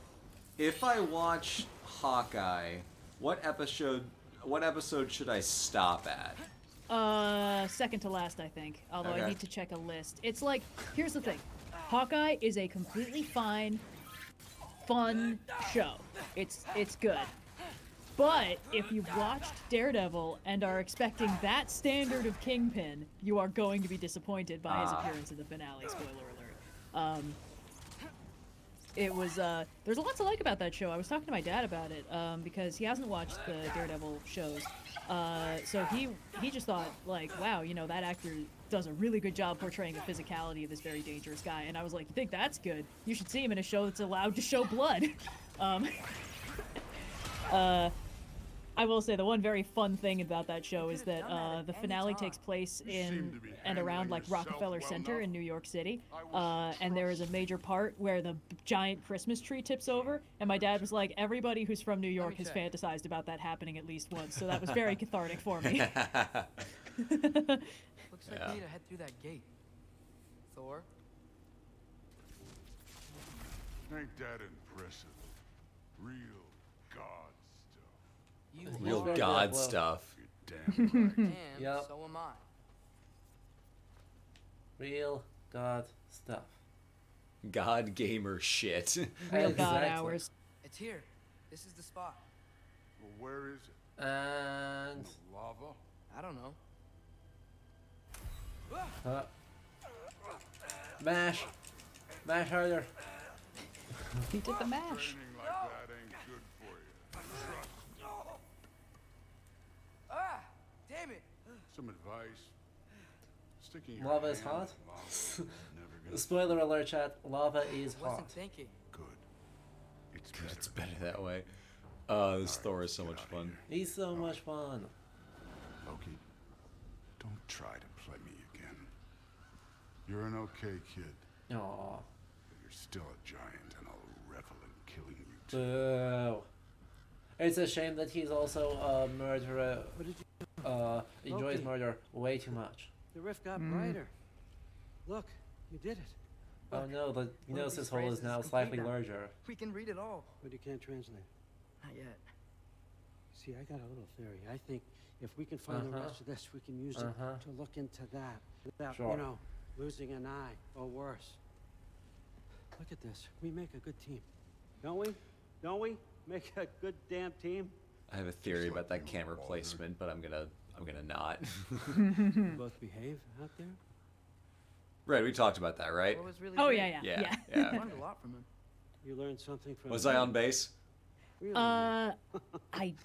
don't What did you think so. Okay, But cool. yeah. then I won't say it and embarrass myself. Possibly teach him. Aww. Exactly. Boo. Boo this um, I was slime ball. wondering where that went. Actually, I had a pretty good idea. Odin is a very Change of heart. interestingly shitty person, and the way that it shines not through really sure why I came to specifically the people he's fucked up is But is very solid writing. Yeah. In that he, I, I don't I mean this in the form of like a diagnosis, but he And if I'm gonna help you, feels like a the narcissist Mhm. in that be able to trust he's the most important person in his life at all your own. times. I get it. But he also picks this. favorites. But he out answer. cycles through favorites your because they don't actually Yes. matter to him.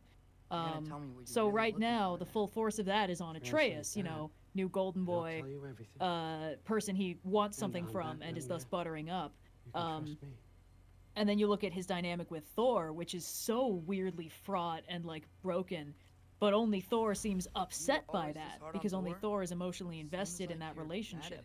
Mm -hmm. So Yeah, Right. because Odin sees Thor as a blunt instrument. I get it. exactly, a nothing hammer like perhaps. Yeah. Um, haha. but uh, but of be course to Thor, it's like It's that's you know he understands. I'm my serious. dad. Go So ahead and try being it's nice it's You will make dicey. Uh, Uh-huh. it, essentially it's one of those things where like I, I would characterize this as like people have relationships with odin but they're completely one way it's only about what odin can get from them uh, but This they is- feel like it should you know Can it you sh- zoom there with should be more triggers? care you know freya somebody who Triggers was married down. to Oh, odin damn. This Anyway. is Zoom. Okay. Yeah. yeah Uh, anyway, I'm trying to take a look at this because this might be fun. Uh, are those Elder Futhark or are those medieval runes? They're also upside down, so it's hard to tell. But that might actually be younger Futhark. Uh, there are runes that are designed to be written on ink, uh, in both Old English and Old Norse. There's whole poems composed, and whole manuscripts composed in medieval runes, and they are way cooler than Elder or Younger Futhark, and more things should be showing them. I don't think these are those. shame It's unfortunately also who the, what the fuck have you been doing to this manuscript that it's this faded? Yeah. Like What the fuck, dude? She's just been shining a high power flashlight at it every night. Also, angry noises. Vagus here just because. Uh, I also think, Red, to your point, that seeing Odin's personality through the people he interacts with also spills out into how he affects the other realms. And it's a great way to be like, Odin seems, you know, charming and and you know persuasive and whatever but if you actually look at the people around him you realize how horrible he is and a lot of narcissists are like that where they themselves Yeah. are like you. talk to them in a vacuum and it's like oh they're charming they're funny they're they're you know it's like perfectly reasonable. But then you you see the people in their lives and it's like oh oh oh you did this to them oh, okay cool got it got it exactly. Yeah, yeah. It's one of those things where it's like if you're just you know one on one in a room with them, it's like this person is you know saying all the right things, and I'm having a good time talking with them. Uh, but then it's like you you have to judge them by their actions, not their vibes. Um, yeah. Which is one of my favorite villain tropes too, because like I always feel a little bit iffy when like all the good guys are like beautiful, fun, you know, even toned, reasonable people, and all the bad guys are like snarling, dark clothed, you know, gross looking monsters that are always like, yes, my liege. You know, like like if all the good guys are hot, then the bad guys should also be hot, you know? Equal like opportunity. yeah, but it's like more importantly, that means that you're not priming your audience to judge somebody's moral character by how hot they are. Like it's to as a purveyor of fictional hot people, I love making all my characters hot. It's just you got to do that to the bad guys too because if it's just the good guys, then everyone's going to be like, "Ah, yes, beauty equals goodness. I understand." And it's like, "No, I need you to judge these people by the content of their character." Yep. Shout outs, um, well, free hot take for a chat. Um, Yeah. This is the one thing where the Lord of the Rings movies, in my opinion, drastically fuck up. Yeah. Because Viggo Mortensen, for how just objectively Aragorn the rest of his existence is, Yeah. is way too hot. well, that's the thing. In the book, it's like I, I thought, you know, a servant of the enemy would like look fouler and or, or like look fairer and feel fouler, and it's like fairer than this. How was it? And they're Exactly. like, oh, Aragorn's so gross. He's all muddy because he sleeps under a bush every night. And then meanwhile, Viggo Mortensen is like, hello, I have three days of stubble and uh, s- some artful dishevelment, and that's all you're getting. Exactly. Hi, Ingrid. The weird thing is, I've seen him in other seat in roles, and I don't find him as attractive when he's not Aragorn. Glad you survived your first day. This is also true. Yeah. Tomorrow No offense to the man. It's just I don't know. There's something about the bone structure that really works when when he's just got long dark hair. Yeah. Here's an interesting eyebrows. point by uh, uh, Magistris. Honestly, the thing is that a lot of narcissists are not charming to everyone in their lives. They're charming to people who it matters for them to charm. They can get what they Mhm. want by being cruel or distant to people who they can do that to. And it's only Right. the people who they can't berate that they turn on the charm for. Yep. Very, Yeah. very correct. And Because that's the thing. It's like that attitude. It so often relies on other people valuing them and and caring about them and their opinions of them. Which is why you know so many people who with like narcissistic family members will be like, oh, I just have to go no contact with this person, like, because I, I need to cut myself loose from this because they, you know, the care has only ever flowed one way. I got to stop being invested in what this person thinks of me, um, because it's just such a mess. Uh, and of course, in that case, it's like if if this is a person who has like control over somebody's life or uh, essentially feels completely secure and like this is a person that I can, you know, do whatever I want to, berate, manipulate, whatever, then there's no need to, like this person said, like be charming or nice or whatever, because, you know, their control on that person is just considered a fact in, in that person's head. So anyway, it's interesting. Yeah. Um and I think the way that they're characterizing Odin, the way that they've built him up over the last couple games is just like he's he's horrible, he's manipulative, but we don't see him until now. Like we are not thinking, well, maybe these people got it wrong. You know, we've Yeah. had plenty of time to get to know Freya, to trust her opinion and and see how much this fucked her up uh specifically, and of course all the other characters as well. So when when we're seeing Odin, we're like, "Oh, this is really bad because he actually does seem charming. And if I didn't have that context, I'd probably be falling for this." Yeah. Uh, sorry, the the eyes covered bit there, chat. By the way, was um, oh no, Atreus, don't take a knife to a artifact of unknown age. What the fuck are you doing? Disintegrates in his hands. Ah. They're just you know. banging against the table, see if we'll get the runes to glow we, again. We, we care about runes, right? We, we're caring about the writing carved into something. Don't make new markings on the thing. Atreus is like, wow, the one copy of the of this saga on this mask. Whoopsies, I broke it. I I was like, Exactly. no, shit. I don't see how that would They help. are the fates of these lands, are they not? And now we are back with, uh, you know, the dad of the dad of boy. Kratos has done worse to the fates for less. Oh god. Oh no, it's this bit. God. yeah, damn it's this bit. Fuck. All right, but uh, I think this bit is going to have to be a uh, next time thing. Oh thank God. Yeah. We're coming up on the three hour mark. Exactly. We are coming up on the three-hour mark. That's about as long as we run these things for. You are not So- free of blame here. You encourage this foolishness, Oh boy. this confusion. Oh no, chat's talking about like, has there ever been like an actually heroic character who's unattractive and somebody was like, uh, I want to say Shrek, but he's hot as fuck too. Well, the, the, to be fair, the one moment where he's like, when he shape changes into a human, they do make him um, conventionally turn all those dials to eleven. I'm gonna respectfully disagree with that assessment. Human Shrek does not uh, strike me as, you know what? It's fine. We don't need to get into this. If those dials were in more moderation, I think it would be. But yes, uh, yeah, I am with you, but I also see where they're coming from. Please. Anyway, There's more people in this house than Sindri and Brok were ever prepared for. true. You of all people would seek out fate. Yeah, yeah. But your instincts haven't let us down so far. As we are stuck in cutscene Let's find land. the norms. It's You will- interesting that um that Mir is like, I'm surprised by this course of action you're taking, Kratos. Yeah. But also, it's fine. I'm sure everything will be fine. Nothing bad will happen. But we will find the Norns uh, next week. Next time. Next time. On Journey to the Norns. God damn it. you set yourself up for that one. This one's fucking. I, oh boy. All of my pacing complaints. well, thanks for uh thanks for having us on the stream today. This has Yeah. been this has been super fun. Thank you both for Always agreeing to join us. And as I said, we will be back uh, next week and we will have our first of our guests for this half of the series. Uh, it's going to be Basil Price, a PhD candidate at the University of York, who has done work on Beowulf, done work on Weird Late uh, Saga and Poetic Material, uh, queer and queer theory, gender theory, whole bunch of really exciting stuff. So I I am. He's also one of my best friends, so I am unbelievably excited to have him on. Uh, it is going to be a phenomenal time, uh, and I hope you will all join us for that. Yeah. Yeah.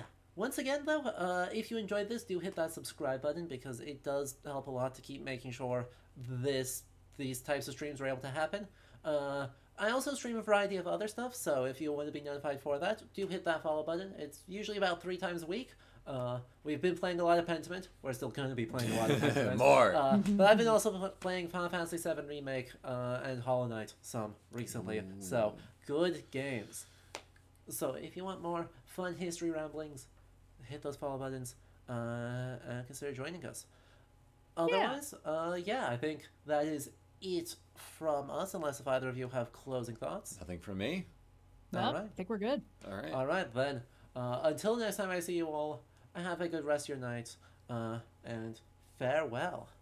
Yeah.